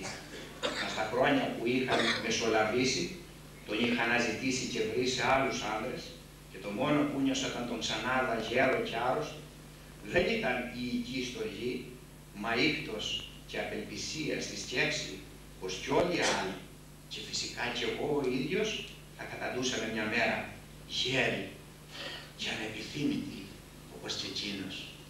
Είναι τραγική η λόγια αυτή, η απουσία του πατέρα μέσα από την οικογένεια. Επιτρέψτε μου, αγαπητοί πατέρες, να παρουσιάσω κάτι άλλο. Πώς; Ολοκληρώστε το θέμα σας. Να μην επήγεστε οι παιδί σας. Όχι, δεν επήγομαι εγώ. Ε, είμαι Βλέπω δάσκαλος. ότι σα απορροφεί ο κόσμος. Είμαι δάσκαλος και βλέπω. Μόλι κουραστεί θα αρχίσω να πω. Λοιπόν, ακούστε τώρα. Ε, τούτο εδώ είναι συγκλονιστικό. Ε, ένα ευαίσθητο αγαπητό παιδί. Ξέρετε, επειδή τα λέω αυτά και συζητάω σε ακροατήρια πολλά, έρχονται με κάνουν τη νύχτα τηλέφωνα. Είχα μια κυρία. Να ακούσετε το δράμα αυτής της κυρία. Στην κοινωνία και έχω παιδιά και όμως είχε τέτοιες τάσεις και πρέπει να ζήσω, να μην πάρω σφραγίδα στην οικογένεια και είχε και παιδιά. Φιλόλογος λυκειάρχη ένα γυμνάσιο των Αθηνών. Φέρω το σταυρό μου μια ολόκληρη ζωή και ήταν και ευσεβής. Ζούσε όμως μέσα στι κάποιες και έψαχνε να βρει από πού ξεκινάει. Ακούστε λοιπόν αυτός ο νέος. Αυτός ο νέος είναι σε μια μεγαλούπολη εδώ της Ελλάδος. Ένας ευαίσθητος νέος που έμαθε ότι ασχολούμαι με αυτά τα θέματα. Ε, κάπου μίλησε λοιπόν σε κάποια εξομολογητική στιγμή, περιγράφει την κρυφή αυτή διαδρομή. Ανακουφίζεται, θεραπεύεται, φαντάζομαι. Ακούστε τι μου λέει. Είναι πολύ σημαντικό. Μέσα από εκεί παρατηρούμε τις ευθύνες τις δικές μας. Λέει, Είμαι 25 χρόνια. Σε όλη τη διάρκεια της ζωής μου αντιμετώπισα αρκετά προβλήματα που αφετηρία τους ήταν η ίδια η οικογένεια, με δύο ανθρώπους αυταρχικούς σκληρούς γεμάτους προκατάληψη. Ο πατέρας από ό,τι γνωρίζω πέρασε δύσκολα χρόνια στη δική του οικογένεια. Έτσι έγινε βίος, εγωκεντρικός, έγινε απόλυτος, με τάσεις κάτι παραπάνω από αυταρχικές, με δικτατορικές τάσεις μέσα στην οικογένεια. Το όχι για αυτόν, εννοεί από τα παιδιά, ε, ήταν αμάρτημα όπου κάθε απάντηση αρνητική προς αυτόν είχες ως αποτέλεσμα ξυλοδαρμό βρισχέ σε τέτοιο βαθμό που δημιουργούσε τάσεις αυτοκτονίας και έντονο φόβο για κάθε άνδρα. Τα συναισθήματά μου ήταν γεμάτα από μίσος, έφρα, αηδία, φθόνο και τέλεια απομάκρυνση από το πρότυπο του πατέρα και σταματάει εκεί, ακούστε, τάβλα άντρα. Και λέει και κάτι άλλο. Από την άλλη πλευρά η μητέρα ήταν άτομο αντιφατικό, είχε δύο διαφορετικές πλευρές χωρίς σταθερότητα. Παρότι μορφωμένη ήταν υποταγμένη σε έναν άνδρα που τον έτρεμε αρκετά και πήγαινε πάντοτε με τα νερά του. Πάντοτε εις βάρος των παιδιών της. Ό,τι και γίνονταν σπίτι πάντοτε μας πρόμαζε ότι θα το αποκαλύψει στον πατέρα και εκείνος θα μας χτυπήσει για να βάλουμε μυαλό. Πολλές φορές όταν δεν ανταποκρινόμουν σε ορισμένα μαθήματα σωστά, με μείωνε τόσο πολύ, προσέξτε το πόσες φορές το κάνουμε εμείς, ε, με φώναζε άχρηστο, άθλιο, ανίκανο, όπου μαζί με τον άνδρα κακοποιούσαν τόσο τον ψυχικό όσο και το σωματικό μου κόσμο. Και λέει και κάτι άλλο. Ζητώ συνέχεια αγάπη, που το υποκατάστατο αυτή το βρίσκω σε ανθρώπους ξένους αλλά αξιοπρεπείς και λογικούς εφόσον δεν ανοίγουμε στους οποιουσδήποτε. Τόσο άσχημα είχαν, ε, είχαν επέμβει μέσα στον κόσμο μου όπου όταν έμαθαν ότι είμαι ομοφιλόφιλος, κάτι της ομοφιλόφιλος ο νέος αυτός, με μίσησαν τόσο πολύ και η ζωή μου άρχισε να μπαίνει σε μια φοβερή δοκιμασία. Θυμάμαι ότι το πρώτο μου ομοφιλόφιλο συνέστημα το ένιωσα 4-5 χρόνων και στον υπηαγωγείο είχα παρέα μόνο με ένα μικρό κοριτσάκι. Είχα τάσεις φοβίας προς τα αγόρια και σιγουριάς προς τα κορίτσια. Καθόμουν στο σχολικό πάντοτε φοβισμένος, έντρομος. Τα παιχνίδια μου ήταν κοριτσίστικα, μισούσα κάθε αγοριστικό παιχνίδι και ήμουν ξένος στον κόσμο του αγοριού. Αυτή είναι η τραγική εμπειρία την οποία βγάζει ο νέος αυτός άνθρωπος. Να μην σταθώ σε αυτό, να παρατηρήσω μερικά πράγματα. Έτσι λειτουργεί η οικογένεια. Ε, επιτρέψτε μου να παρατηρήσω το εξής.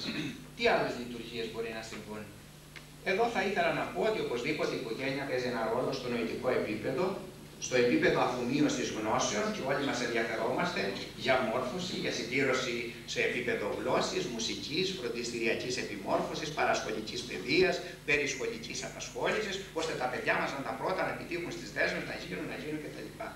Ένας άλλος τομέας πολύ σημαντικός που συνήθως δεν το προσέχουμε είναι ο τομέας όπου μέσα από τις σχέσεις μας και τους ρόλους διατηρείται ή κλονίζεται η ψυχική υγεία και η ισορροπία του ανθρώπου, πράγμα που ήδη το έχουμε τονίσει.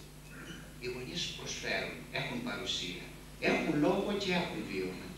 Ένα μεγάλο ερώτημα που θέλω να το προλάβω, θα μου πούν κάποιοι. Μα είμαστε όλοι επιστήμονες και τα ξέρουμε αυτά; Τι συμβαίνει εδώ; Δεν βλέπουμε μια αντίφαση που συμβαίνει; Από φτωχά σπιτικά να βγαίνουν παιδιά τα οποία είναι διαμάντια.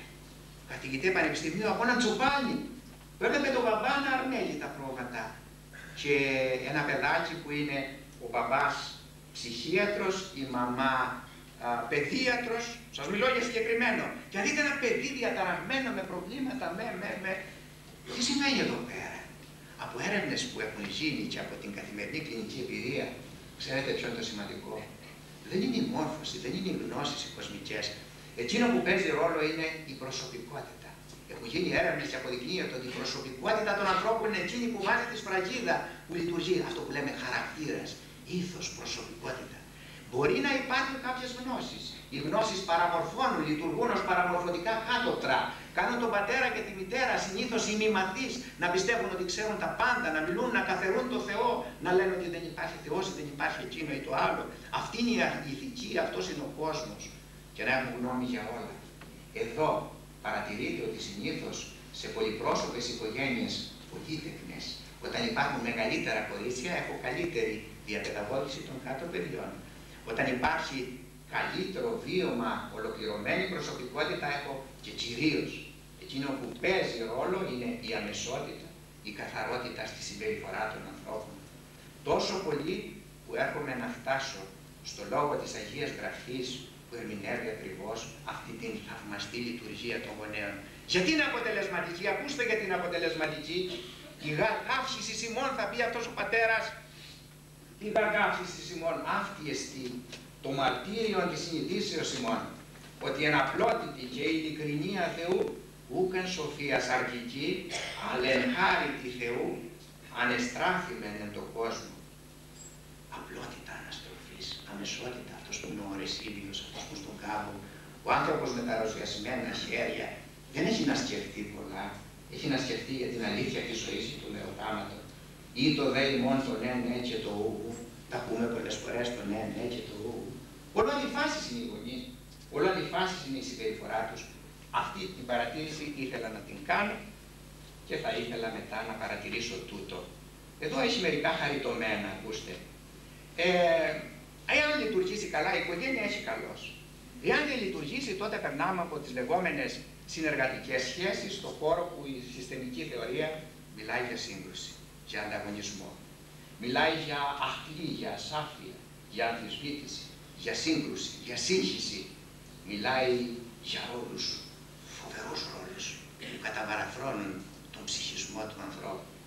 Από εδώ και πέρα γίνεται μια ταξινόμηση. Επιτρέψτε μου έτσι επιγραμματικά να δείτε τι λένε οι ξένες ψυχολογίες. Ποιοι είναι αυτοί οι πατέρες. Ήδη τους ξέρουμε και τους περιγράφουμε. Μεταξύ αυτών είναι ο συναισθηματικά απόν πατέρας. Είναι το πρώτο παράδειγμα για το οποίο μιλήσαμε. Ο πατέρας της Ράνιας. Δίνω χρήματα, αγοράζω, καλύπτω τις δικές μου ενοχές και λέω το παιδί μου θα φοράει το λακκός. Θα φοράει τα ωραία παπούτσια. Εγώ δεν έφαγα, θα, θα φάει το παιδί, θα ζήσει, θα γίνει γιατρός, θα γίνει εκείνο. Βλέπετε έχουμε ένα αξιολογικό σύστημα που είναι πάρα πολύ χαρακτηριστικό στη ζωή μας. Εδώ λοιπόν είμαστε συναισθηματικά αφόντες και πάμε να καλύψουμε τον έλεγχο της συνείδησης με παροχές. Είναι στην ελληνική οικογένεια μία από τις φοβερότερες, θα έλεγα, παιδαγωγικές που χρησιμοποιούνται. Μετά είναι ο αυταρχικός πατέρας. Ο αυταρχικός πατέρας είναι εκ προηδίου α, απόβλητος ως πρότυπο. Ο αυταρχικός πατέρας 100% από την χάνει. Επίσης, στο άλλο άκρο βάλτε τον πατέρα που παίζει ρόλους που είναι, όπως λένε στη γαλλική σχολή, την παιδαγωγική του laissez Δηλαδή, άστο το παιδί θα δοκιμάσει τα πάντα, θα βρει τον δρόμο του.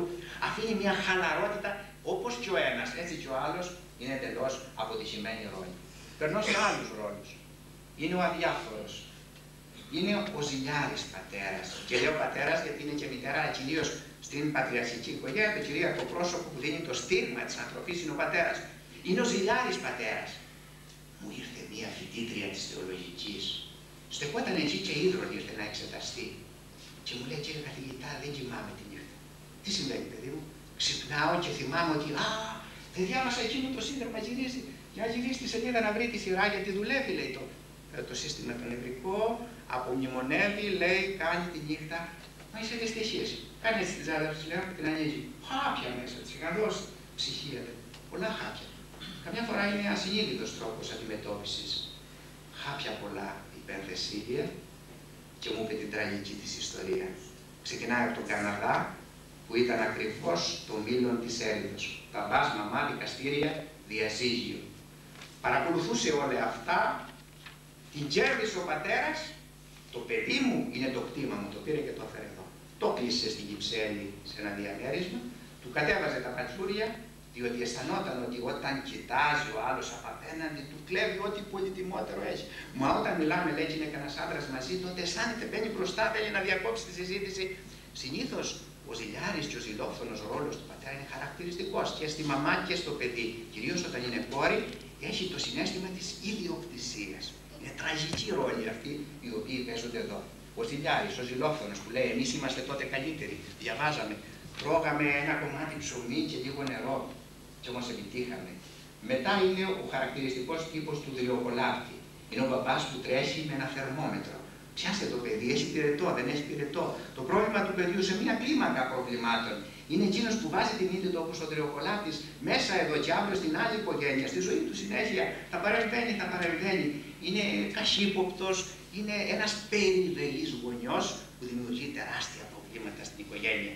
Και αυτός όπως καταλαβαίνετε είναι της λειτουργικός τύπος που δημιουργεί τεράστια προβλήματα. Από εκεί και πέρα τι άλλο να πούμε; Θα έλεγα έναν άλλο χαρακτηριστικό, ε, γιατί είναι και εκείνος. Είναι ο λεγόμενος αντιρροπητικός πατέρας και να σταματήσω με αυτό. Ποιος είναι αυτός, Είναι αυτός που δεν έγινε κάτι και θέλει να γίνει. Είναι αυτός που επενδύει στα όνειρα του παιδιού και βλέπει τη ζωή του παιδιού σαν προέκταση της δικής του ζωής. Και λέει: Εγώ δεν είχα, δεν έφαγα τότε. Αλλά τώρα άνθησε το εμπόριο. Και αφού άνθησε το εμπόριο θα το κάνω. Και είμαστε χθε επάνω στο μοναστήρι του Αγίου Κουτσιπατώ. Πιστέψτε το, αυτό είναι αληθινό. Ότι ένας πατέρας γεννήθηκε το παιδί και ήταν στην τρίτη δημοτικού και του αγόρασε και του έβαλε σε ένα ε, μέσα δωμάτιο ένα πανάκριβο εργαστήριο οδοντιατρική. Ήθελε να το κάνει, ήταν το όνειρό του να γίνει οδοντίατρος. Μα θα το βλέπει κάθε μέρα και θα γίνει μια μέρα οδοντίατρος. Αυτό είναι γεγονός. Έχει γίνει. Προέκταση.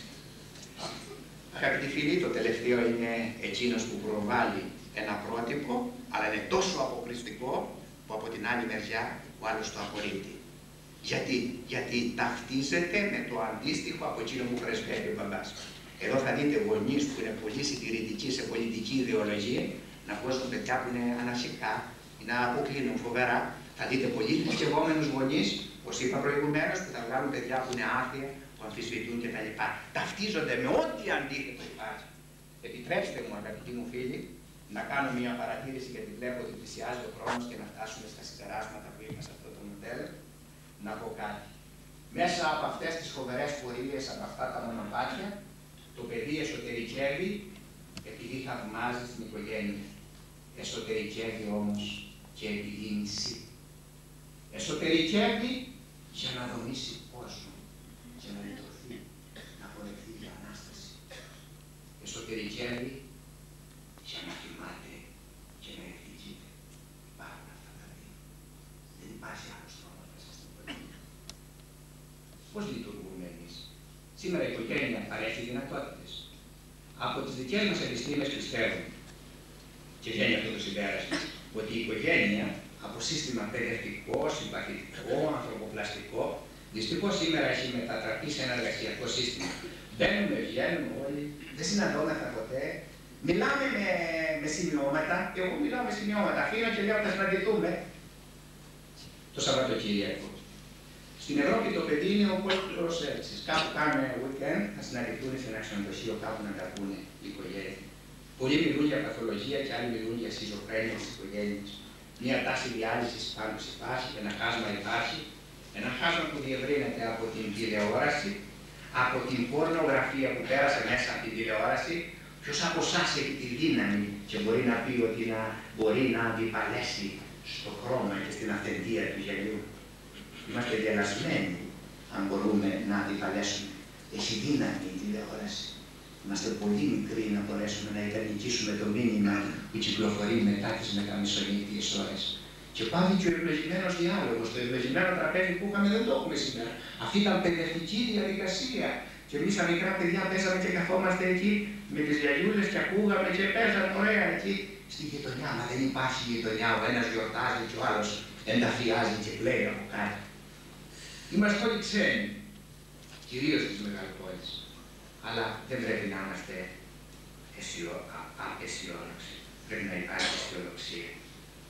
Και επειδή πρέπει να υπάρχει αισιοδοξία, πρέπει να πούμε και κάτι θετικό. Είναι οι τελευταίες, και από την μου συμβολή, αυτό που είπα το τελευταίο, ακριβώς κάποια λεπτά. Τα έχω, τα έχω, κυρία Δήμηνα. Ακούστε λοιπόν Πολύ ωραία. Λοιπόν, ακούστε. Νικήσαμε με ορθή λογική μέχρι τώρα. Είπε ο Φρόιτ, είπε ο Έρικ Φρόμ για την παθολογία, είπε ο Ρόναλντ Λέγκ, είπαν όλοι μεγάλοι και μικροί ψυχολόγοι, Μαχιστόροι, Τετρολοί, όλοι αυτοί. Άστε στον λίγο να δούμε τι λέει η ζωή και το κλάμα. Εκείνο που πρέπει να κάνουμε είναι να μην αισθανθούμε ότι είμαστε μόνοι. Εγώ χαίρομαι απόψε για τη ζεστασιά και την αγάπη. Χαίρομαι γιατί εδώ βλέπω πατρεμένα. Τα άσπρα μαλλιά με τα άγουρα χρόνια. Είναι πολύ ωραίο αυτό. Βλέπω νέα ζευγάρια και βλέπω και ηλικιωμένα ζευγάρια. Εκείνο που θα ήθελα να ρίξω ως ιδέα, καταρχήν να επενέσω γι' αυτό.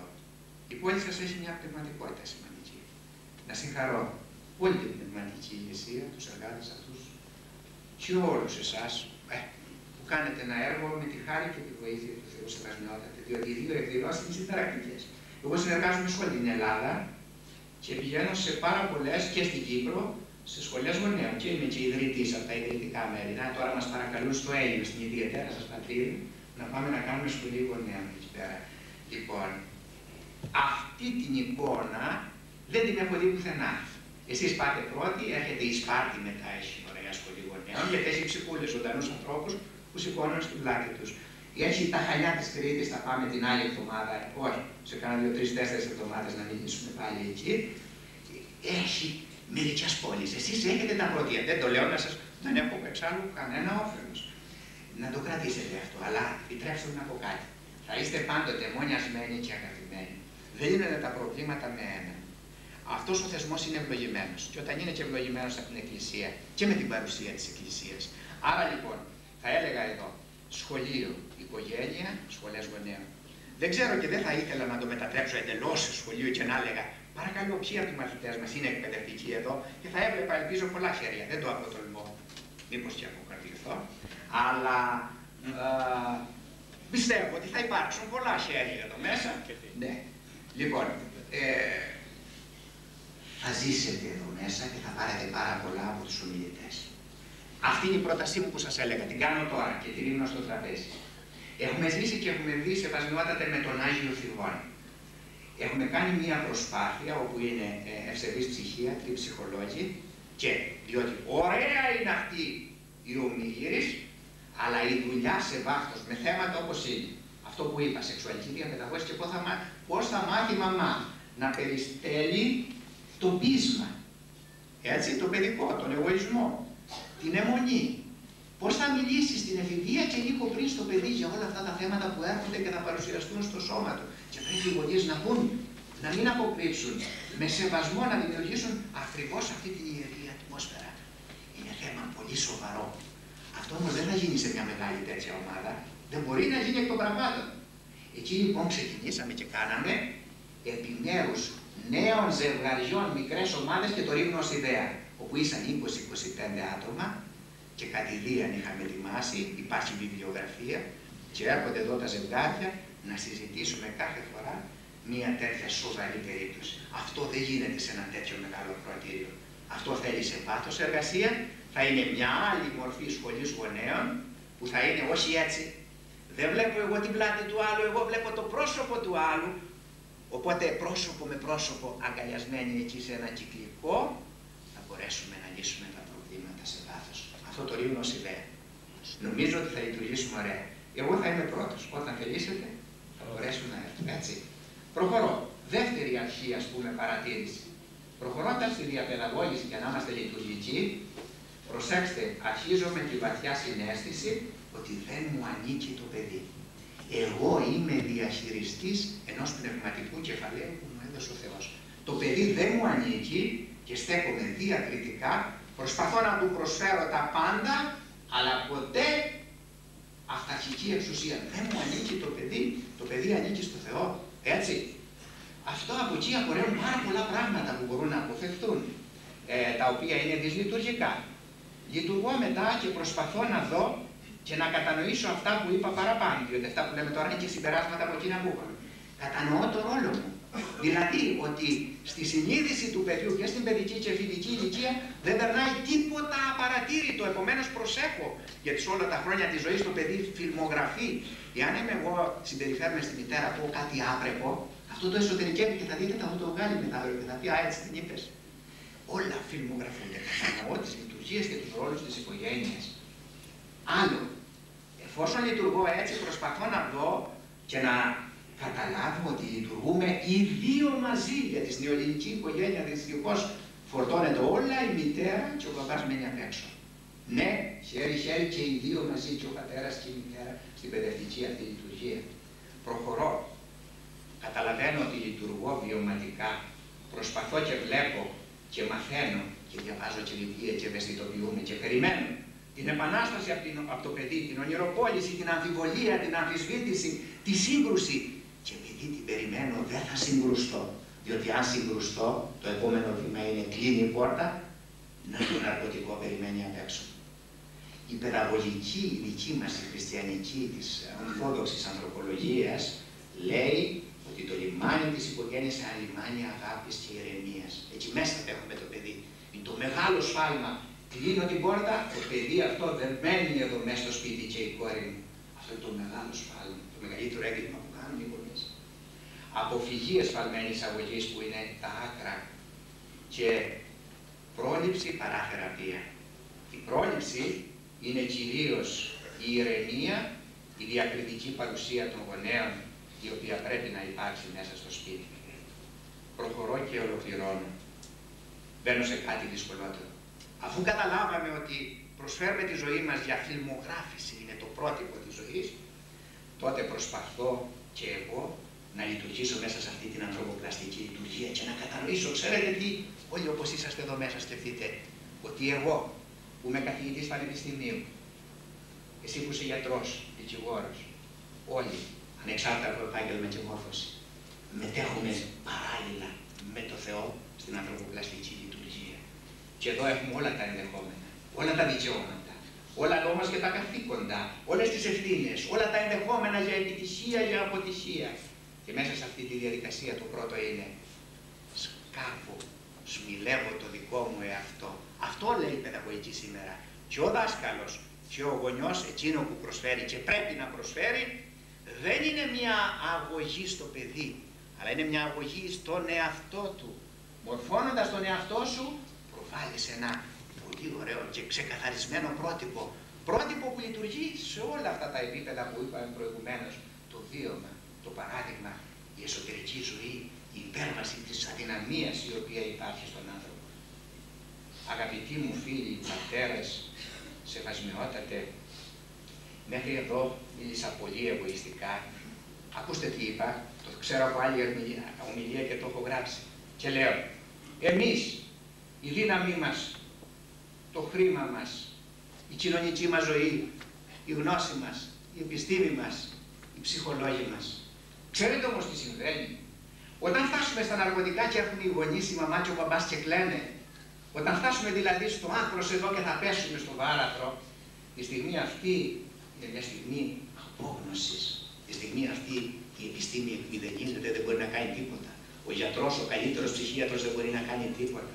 Τη στιγμή, μόνο εκείνη τη στιγμή γυρίζομαι και εκεί παρατηρούμε την αδυναμία μας, αδυναμία μας και θέλουμε να κάνουμε την υπέρβαση. Αλλά αυτό πρέπει να έχει γίνει από την αρχή, έστω και αυτή τη στιγμή. Εκείνο που λείπει είναι η ταπείνωση και η αυτογνωσία. Πόσοι από εμάς μάθαμε το έργο της παιδαγωγικής και της ανατροφής να το κάνουμε έργο εσωτερικής υπόθεσης και γονάτων. Πόσοι προσευχόμεθα. Ακούστε από μένα, πάρα πολλά δοκίμασα, δίδαξα 30 χρόνια.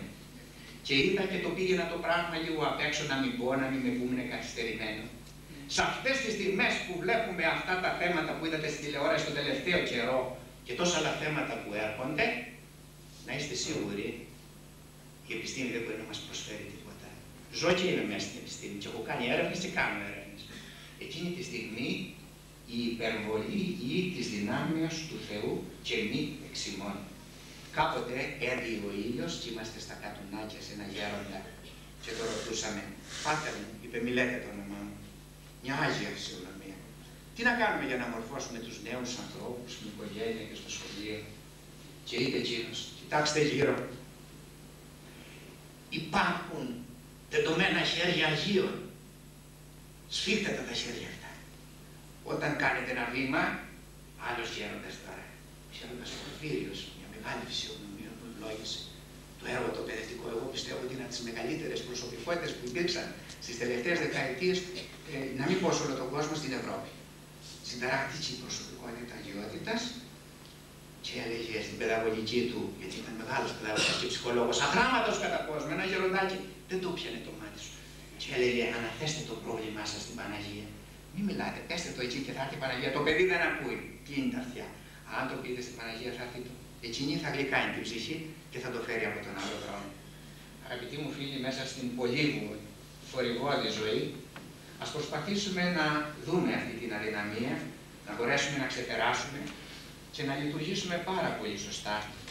Τότε, ε, επί του φοβερού βήματος, έλεγα κάτι την Κυριακή, επί του φοβερού βήματος τι θα πούμε, ξέρετε γιατί θα δώσουμε λόγο εμείς οι γονείς και οι εκπαιδευτικοί.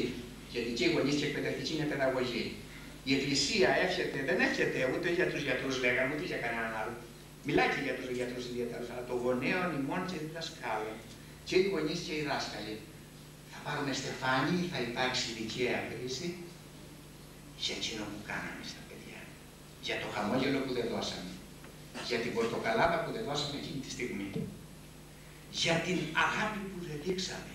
Για την προνοητικότητα, για τη σκληρότητα. Για το ότι δεν διαβάσαμε ένα βιβλίο για να μπορέσουμε να αντιμετωπίσουμε τη δύσκολη στιγμή της εφηβείας.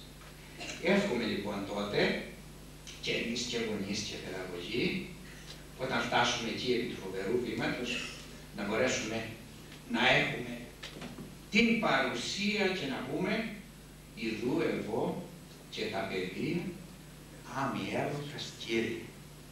Γιατί να είμαστε σίγουροι, είμαστε σίγουροι ότι θα κρυθούμε με βάση το αίμα και την ψυχή που δώσαμε στα παιδιά. Σας ευχαριστώ.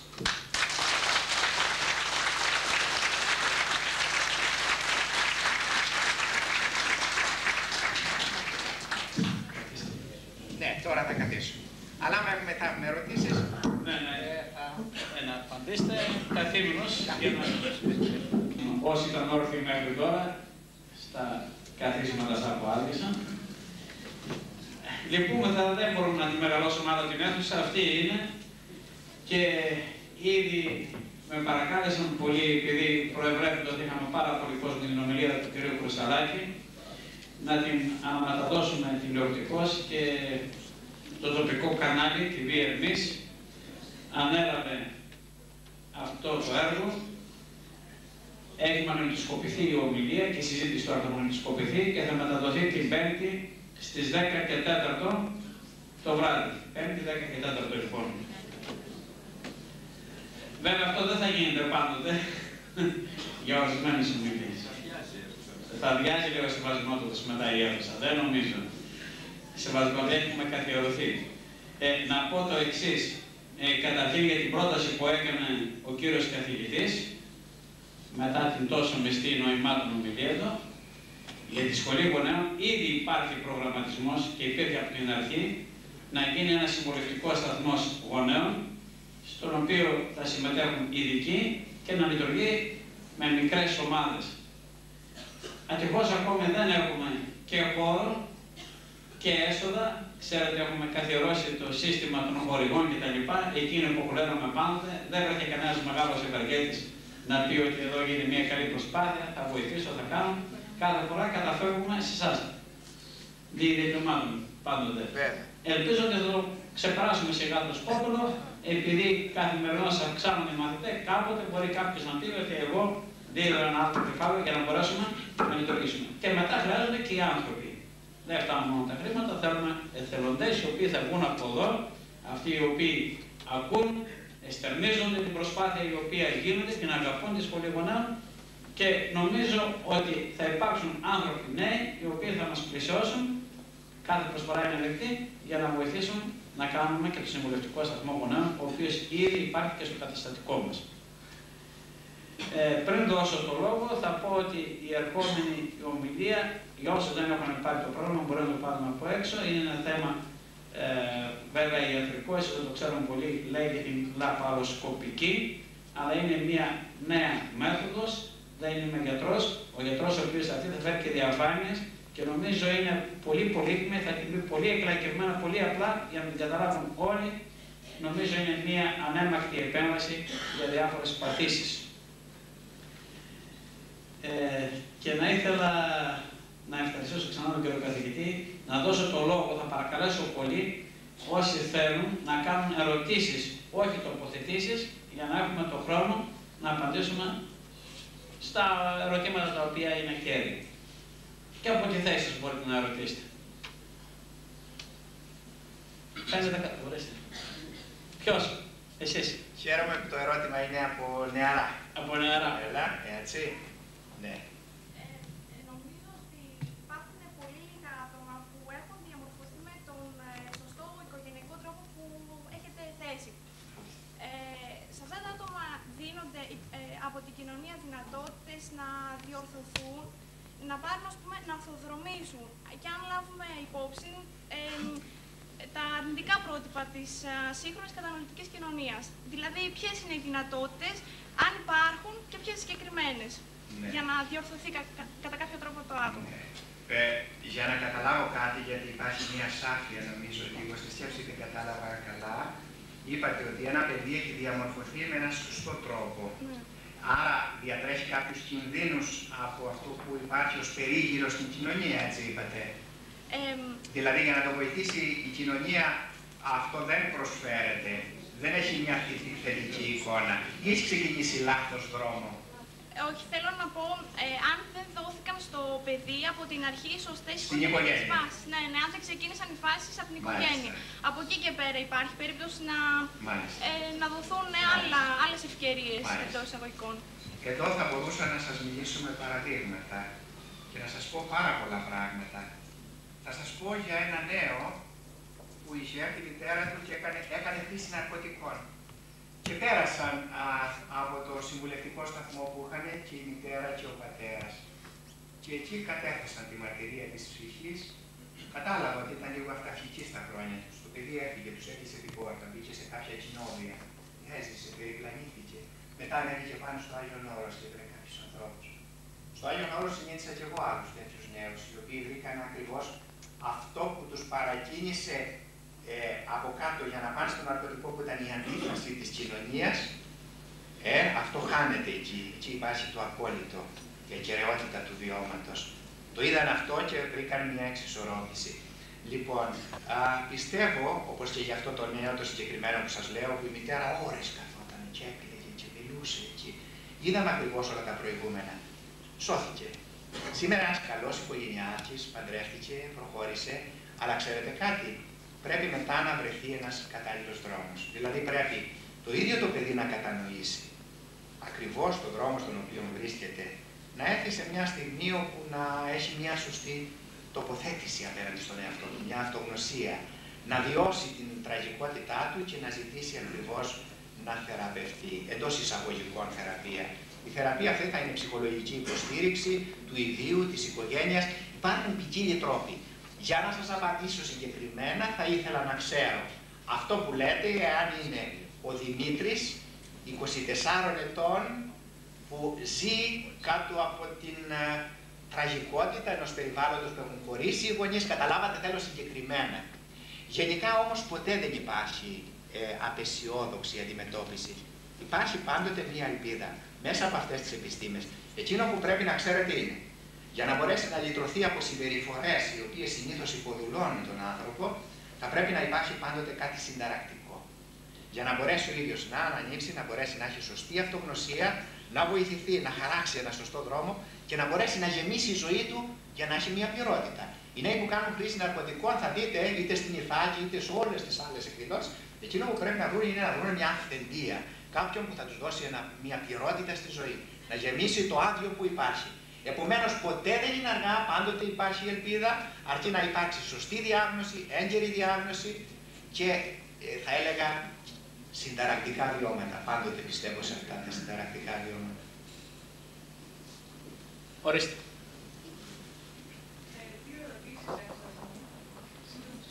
Ναι, λίγο δυνατά μόνο. Λίγο δυνατό. Μία ερώτηση είναι για τη μητέρα που εργάζεται.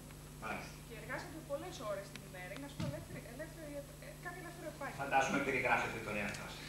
Έτσι, πέστε το. Εγώ εργάζομαι έτσι λοιπόν. ωραία. Και ακούμε πολλές φορές από γυναίκες που εργάζονται πολλές ώρες ότι εγώ δεν μπορώ να αφιερώσω πολλές ώρες στα παιδιά μου, αλλά οι ώρες αυτές που αφιερώνω είναι ποιοτικέ.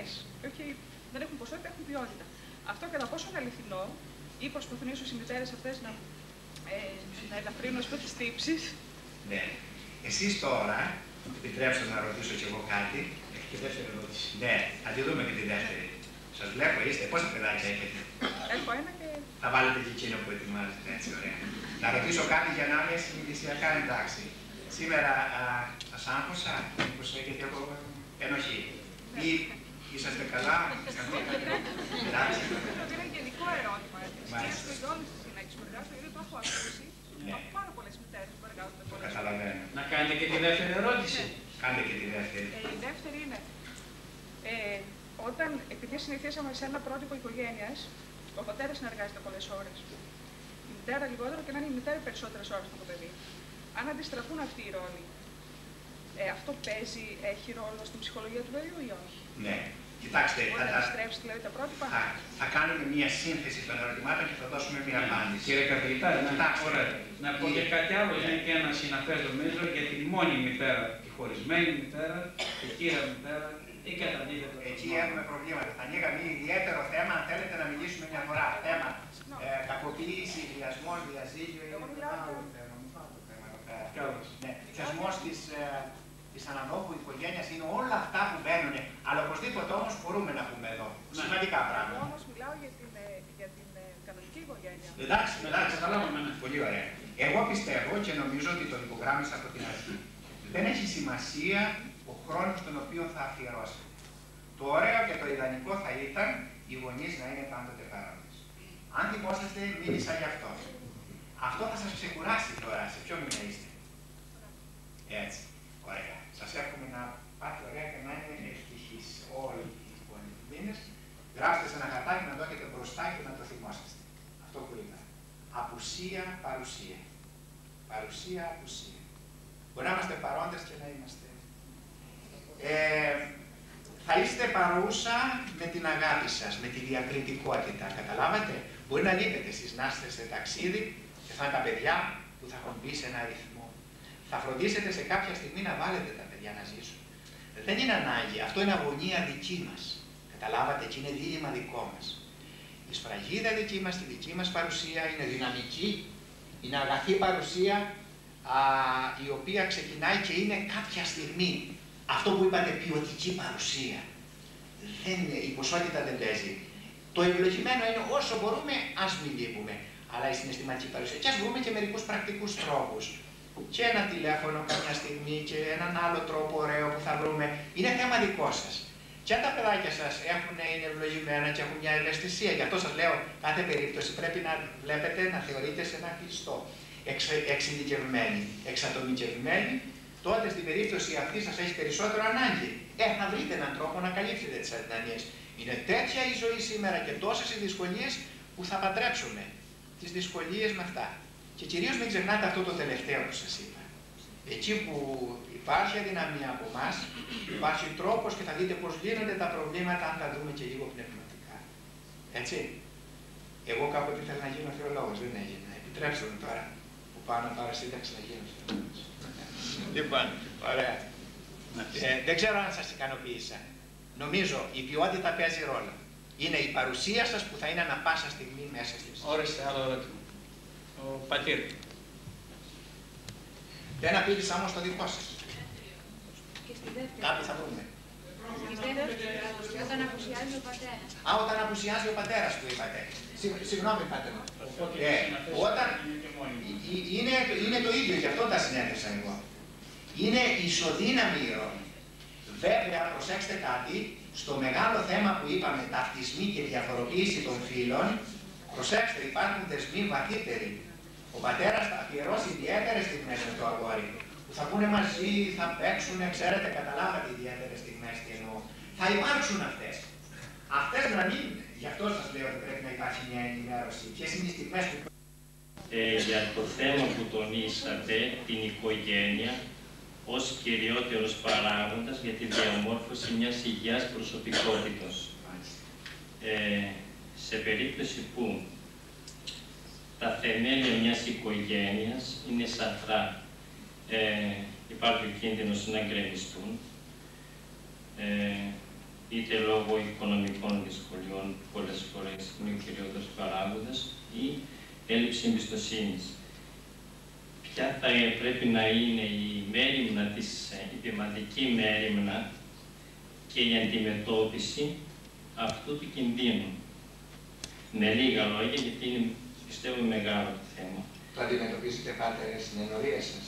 Όχι, Προληπτικός ναι, είναι μια ερώτηση. Ναι. Τι άκουση είναι αυτή, τώρα έγινε. Τώρα έγινε. Τώρα έγινε. Ε, είναι ωραίο το ενδιαφέρον όμως. Είναι ωραίο το ενδιαφέρον. Επομένως, προμηνύει όπως έχει είναι καλός. Ναι. Λοιπόν, Ένα άλλο θέμα επίσης, εκτός αυτού, ε, για την ταύτιση που κάνατε της αγαπητής σχέσης, αγαπητικής. αγαπητικής σχέσης ε, των μελών της οικογένειας ε, με την αγαπητική σχέση που υπάρχει στα τρία πρόσωπα της Αγίας Τριάδος. Μάλιστα. Δεν είμαι θεολόγος, σε ερώτησα να μου πείτε εσείς. αν είναι σωστό. Ο, με, με προβλημάτισε γιατί ε, έχω διαβάσει ένα επιστημονικό σύγγραμμα το Για πες οποίο το μας.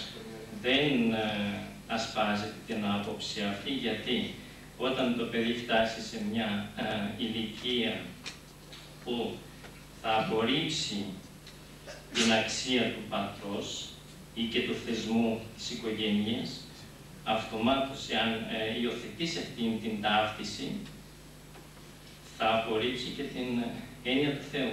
Ε, την έχεις απορρίψει. να το απορρίξει. Ε, ένα άλλο επίσης, ότι για το θέμα το οποίο κάνετε πολλή συζήτηση, για το θέμα ότι παιδιά που ε, έχουν, πώς να το πούμε, αυτήν την πάθηση της ομοφιλοφιλίας Όχι Και- μάθηση, να το πούμε ιδιαιτερότητα. ναι, ναι. Ε, ότι έχετε ρίξει περισσότερες ευθύνες ε, στον οικογενειακό θεσμό. Ε, αποκλείεται να είναι και οργανική. Ναι. Αυτή είναι η πάτηση. Βεβαίως. Να οφείλεται στα χρωματοσώματα. Βέβαια. Τα οποία, ναι. Και μια τοποθέτηση ότι αυτό που είπατε πριν, που αναφέρει και ο πατήρ Πορφύριος, καλύτερα είναι προτιμότερο να μιλούμε στον Θεό για τα παιδιά παρά στα παιδιά για τον Θεό. Πολύ ωραία. Ναι. Ευχαριστώ. Να πω εδώ να κάνω μια παρέμβαση ότι ο κύριος καθηγητής ήδη είναι προσκεκλημένος να μας κάνει ειδικό θέμα για τη δι- σεξουαλική διαπαιδαγώγηση. Μάλιστα έχει κάνει και ειδική έρευνα και ειδική επιστημονική εργασία. Θα συνοδεύεται και με διαφάνειες εσείς κύριε καθηγητά, έχετε Ναι, δεσμευτεί. ναι, και ίσως θα ήταν ωραία στους νέους να μιλήσουμε. Και στους νέους μπορεί να γίνει και σε ένα σχόλιο, στο πολυκρατικό ας πούμε, ή και σε άλλα σχόλια. Ξέρετε γιατί είναι σημαντικό αυτό; Γιατί είναι κάποια πράγματα στον χώρο αυτό που πρέπει να αντιμετωπιστούν με ιερότητα. Ακριβώς. Από τις έρευνες που βλέπουμε είναι ότι τα παιδιά μαθαίνουν πάρα πολλά στο πεζοδρόμιο, στην τηλεόραση, σε βίντεο και είναι λανθασμένα και είναι. Ενώ όταν πλησιάσουν και δουν ακριβώς, ξέρετε τι άγνοια έχουμε όλοι εμείς, πλησιάσουν και δούμε αυτή της τρομερής λεπτομέρειας λειτουργία που υπάρχει, γιατί είναι πολλές λειτουργίες εδώ, τότε θα θαυμάσουμε το μεγαλείο του Θεού. Θα σταθούμε με σεβασμό ακριβώς επειδή θα δούμε αυτή τη λειτουργικότητα του ανθρώπου. Και εμείς δεν την ξέρουμε. Και την απογυμνώνουμε και την κάνουμε έτσι σάρκα, βιολογικότητα, ζωικό επίπεδο πολύ χαμηλό. Άρα και θαυμάσια λειτουργίας της δημιουργίας του Θεού. Ναι, γι' αυτό ετόλμησα και το πήρα αυτό το θέμα και το κοιτάζω και για αυτό το θέμα. Ε, ναι. Αλλά είχα ρωτήσει και πνευματικού. Ξεκινώ πάντοτε ρωτώντας κάτι από τους πατέρες. Λέω, μήπως έστω και ένα, έναν απλά. Και λέει, όχι, πρέπει να το δούμε αυτό το θέμα και να το αντιμετωπίσουμε. Και μετά, πέντε τώρα να κάνει παρέμβαση. Ε, ε, τώρα στο παππούλι κάτι να πούμε. Να, μιλείτε. Ε, για την ομοφιλοφιλία λοιπόν να το πούμε μια άλλη φορά. Αλλά αυτή τη Ναι. στιγμή θα έλεγα, μήπως μείνει κανένα κενό. Ναι, πολύ ωραία που βάλατε. Είναι η πρώτη ομάδα αιτίων είναι στην ασάφεια στο γενετικό κώδικα.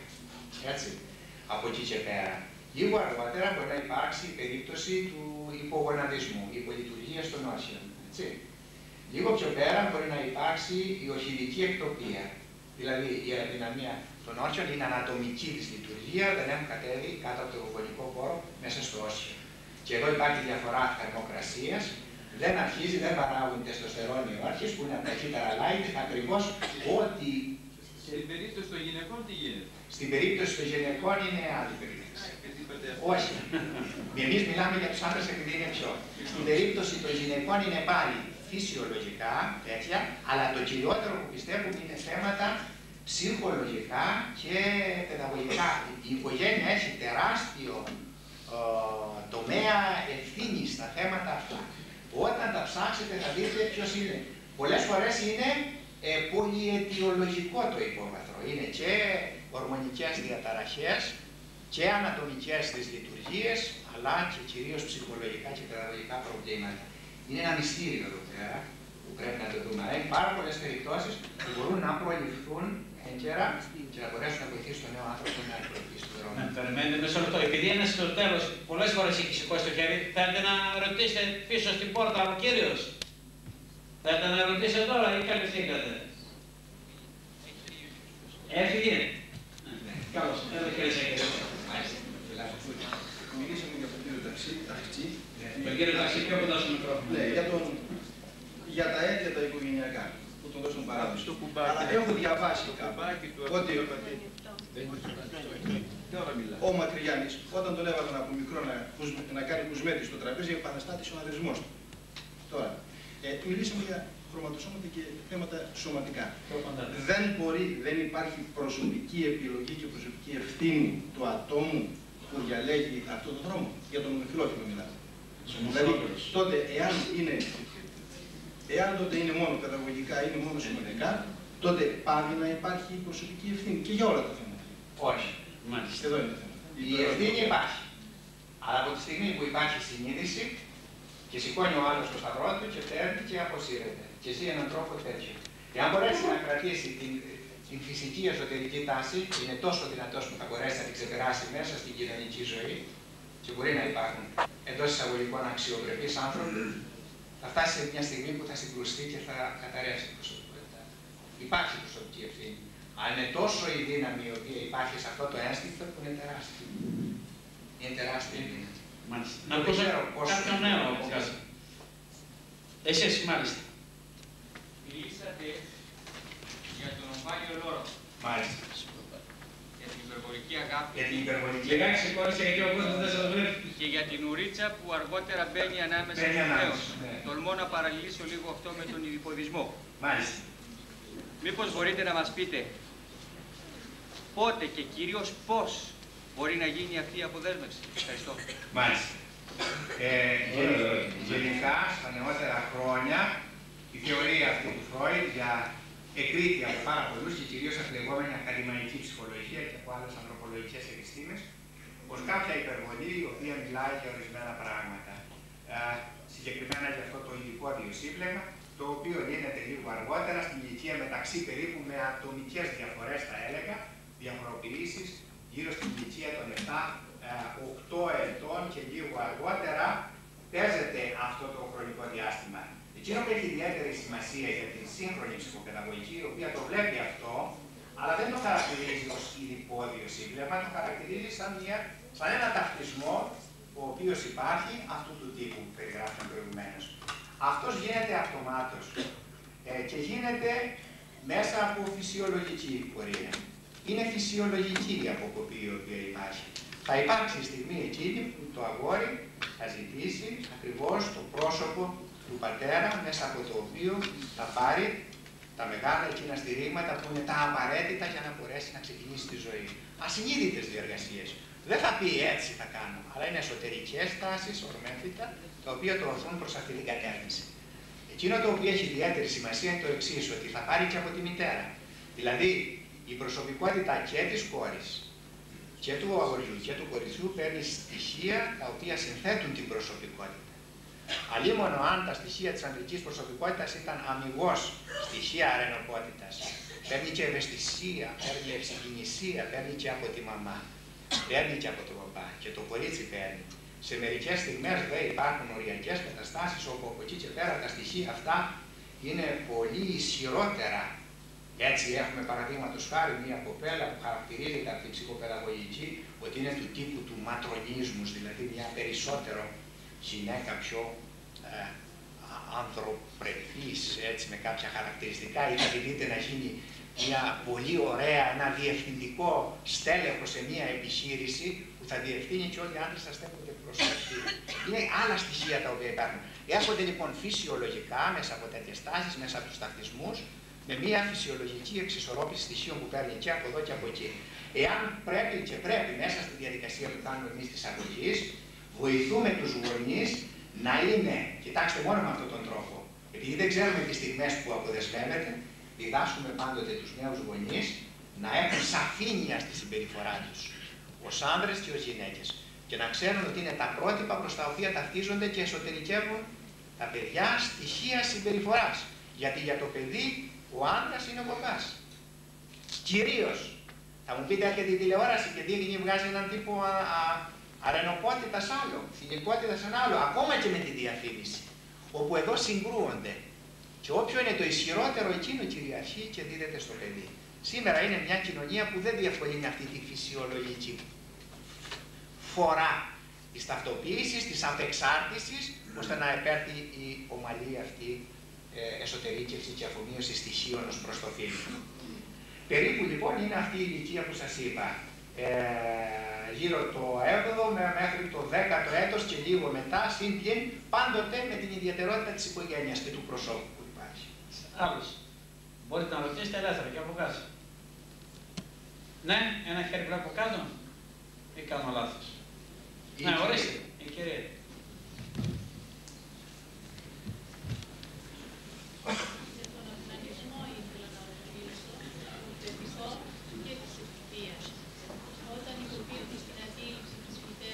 Ναι. και του πατέρα, ποια πρέπει να είναι η σωστή στάση. Η σωστή στάση. Ναι. Ακούσατε το ερώτημα; Το άκουσα το ερώτημα. Όχι, η ερώτηση το Ναι. Λοιπόν, και, και εδώ αυτό το θέμα βέβαια θα δώσω εγώ μία απάντηση, αλλά οπωσδήποτε θα ήταν πολύ ωραίο αυτό που λέτε να το συζητήσουμε σε μία κατηδία συνάντηση. Έτσι, εκεί θα μπορούσαμε να πούμε πολλά πράγματα. Καταρχήν, ναι, καταρχήν, δεν, δεν υπάρχει παιδικός αυνανισμός, έτσι. Υπάρχει μία προσπάθεια του παιδιού σε μία ηλικία όπου διερευνά τον εξωτερικό κόσμο και διερευνά και το σώμα του, να γνωρίσει το σώμα του. Ψάχνοντας λοιπόν το σώμα του, τα χέρια του έρχονται στις ερωτογόνες ζώνες.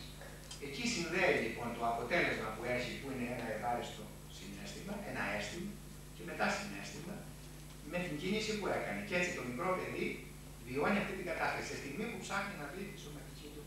Ναι, δεν είναι συνείδητη η κατάσταση αυτή στην παιδική ηλικία. Μπορεί κάποια στιγμή να γίνει, αλλά δεν είναι παθολογικό εκεί. Επίσης και στην εφηβεία δεν είναι παθολογικό, αλλά εκεί υπάρχει κίνδυνος. Εδώ θα πρέπει να υπάρξει έγκαιρη προσπάθεια από ειδικούς παιδαγωγούς και κυρίως από τους γονείς να ξέρουν πώς θα μιλήσουν στο παιδί, ενδεχομένως αν δεν ξέρουν, πολλές φορές τρέχονται. Να δώσουν βιβλία κατάλληλα και να μιλήσουν. Πολλές θεωρίες έχουν αναπτυχθεί εδώ και είναι ένα πάρα πολύ δύσκολο θέμα. Ίσως στον τομέα αυτό, επειδή έχουμε και πνευματικούς εδώ, οι πνευματικοί θα μπορούσαν να βοηθήσουν. Και βοηθούν τα παιδιά τα οποία πάνε εκεί στο μυστήριο της εξομολογήσεως ή στην ενορία συμβουλευτικά επάνω στο θέμα αυτό. Επίσης, θα έλεγα ειδικά μαθήματα που μπορούν να υπάρξουν, μπορούν να ε, ενημερώσουν τα παιδιά. Εκείνο που έχει ιδιαίτερη σημασία, ξέρετε ποιο είναι, ότι μέσα από αυτή τη διαδικασία που είναι η πρώτη εμπειρία δοκιμής των λειτουργιών του ανθρώπου και κυρίως σε επίπεδο σεξουαλικής ειδονής όπως λέγεται, είναι μια δύσκολη περίοδος όπου μπορεί το παιδί να εγκλωβιστεί σε αυτή τη συμπεριφορά και αυτή η συμπεριφορά είτε αγόρι είτε κορίτσι, περισσότερο έχουμε στατιστική στα αγόρια. Συμβαίνει η συμπεριφορά να διαιωνιστεί και να κρατήσει πάρα πολύ καιρό και να κρατήσει το παιδί να του δημιουργεί συνεχώς ενοχές. Ενοχές τέτοιες και μια κατάπληψη να μην το βοηθεί να έχει πρόοδο στα μαθήματα και κυρίως γιατί έχει επιπτώσεις συναισθηματικής και κυρίως κοινωνικής φύσεως. Το κάνει εγωκεντρικό, το κάνει εσωστρεφή των απομονών και το βάζει σε ένα περιθώριο. Θα πρέπει το παιδί κυρίως στην εφηβεία να έχει απασχολήσεις, να έχει, να έχει δυνατότητα γυμναστικής άκρηση, να κινηθεί, να υπάρξει ενημέρωση από τους γονείς, ενημέρωση στους γονείς. Τι άλλο να σας πω, αλλά εδώ μπορούμε με κάθε λεπτομέρεια, αν έχετε ενδιαφέρον, κάποια στιγμή, αλλά σε μικρό κύκλο, να μιλήσουμε και να πούμε τι ακριβώς και πώς μπορείτε τι να γνωρίζετε, στο, να γνωρίζετε από το παιδί και πώς. Θα σας πω λεπτομέρειες οι οποίες υπάρχουν, οι οποίες είναι πολύ συγκλονιστικές. Ναι. Δεν έχουμε βέβαια και πάρα πολύ χρόνο τώρα. Ε, δεν ξέρω. Ένα ή δύο ερωτήματα ακόμη. Όποιος θέλει. Ναι, ορίστε ο γιατρός. Τι γνώμη έχετε για την αγωγή των παιδών της ελληνικής φιλοσοφίας; Ε, πώς το εννοείτε αυτό δηλαδή, γενικώς, τα αρχαία ελληνικά ιδεώδη; Αν ασχολη, ασχολήθηκαν οι Έλληνες φιλόσοφοι. Οι, οι Έλληνες φιλόσοφοι των παιδών. Των παιδών. Ναι. Τι γνώμη Ε, έχετε. κοιτάξτε, εγώ νομίζω και πάντοτε το διδάσκουμε αυτό και στη δική μας σχολή, αλλά θα πρέπει να υπάρξει ένα βασικό πρότυπο, γιατί μην ξεχνάμε ότι στην πορεία των, α, των εξελίξεων μέσα στον πολιτισμό, σε αυτόν εδώ τον ευλογημένο τόπο, παραδείγματος χάρη να σας πω, ο Μέγας Βασίλειος έρχεται και μιλάει για αυτό το ιδεώτες, το οποίο παρουσιάζει σαν ακριβώς εκείνο που μπορεί να πάρει ψάχνοντας, σαν τη μέλισσα ε, το παιδί. Η αγωγή αυτή είναι μια αγωγή η οποία σήμερα προβάλλεται διεθνώς. Γιατί, Γιατί είναι αγωγή που έχει ως βασικό σκοπό την ισόρροπη ανάπτυξη της προσωπικότητας. Η έννοια του καλός καγαθός είναι η έννοια του ανθρώπου εκείνου που έχει ισόρροπα αναπτυγμένη την προσωπικότητα. Και διανοητικός και συναισθηματικός και απόψεως βουλήσεως, αλλά και απόψεως σωματικής ανάπτυξης. Πιστεύω λοιπόν ότι στο χώρο αυτό που ήταν μια α, εποχή που αναπτύχθηκε η έννοια και η αξία του μέτρου, δεν μπορούσε παρά το ιδανικό αυτό να ήταν εκείνο όπως αναπτύχθηκε. Λυπούμε που θα πω ότι ο χρόνος τελείωσε. Να ευχαριστήσουμε θερμά τον κύριο καθηγητή, σεβασμότατο.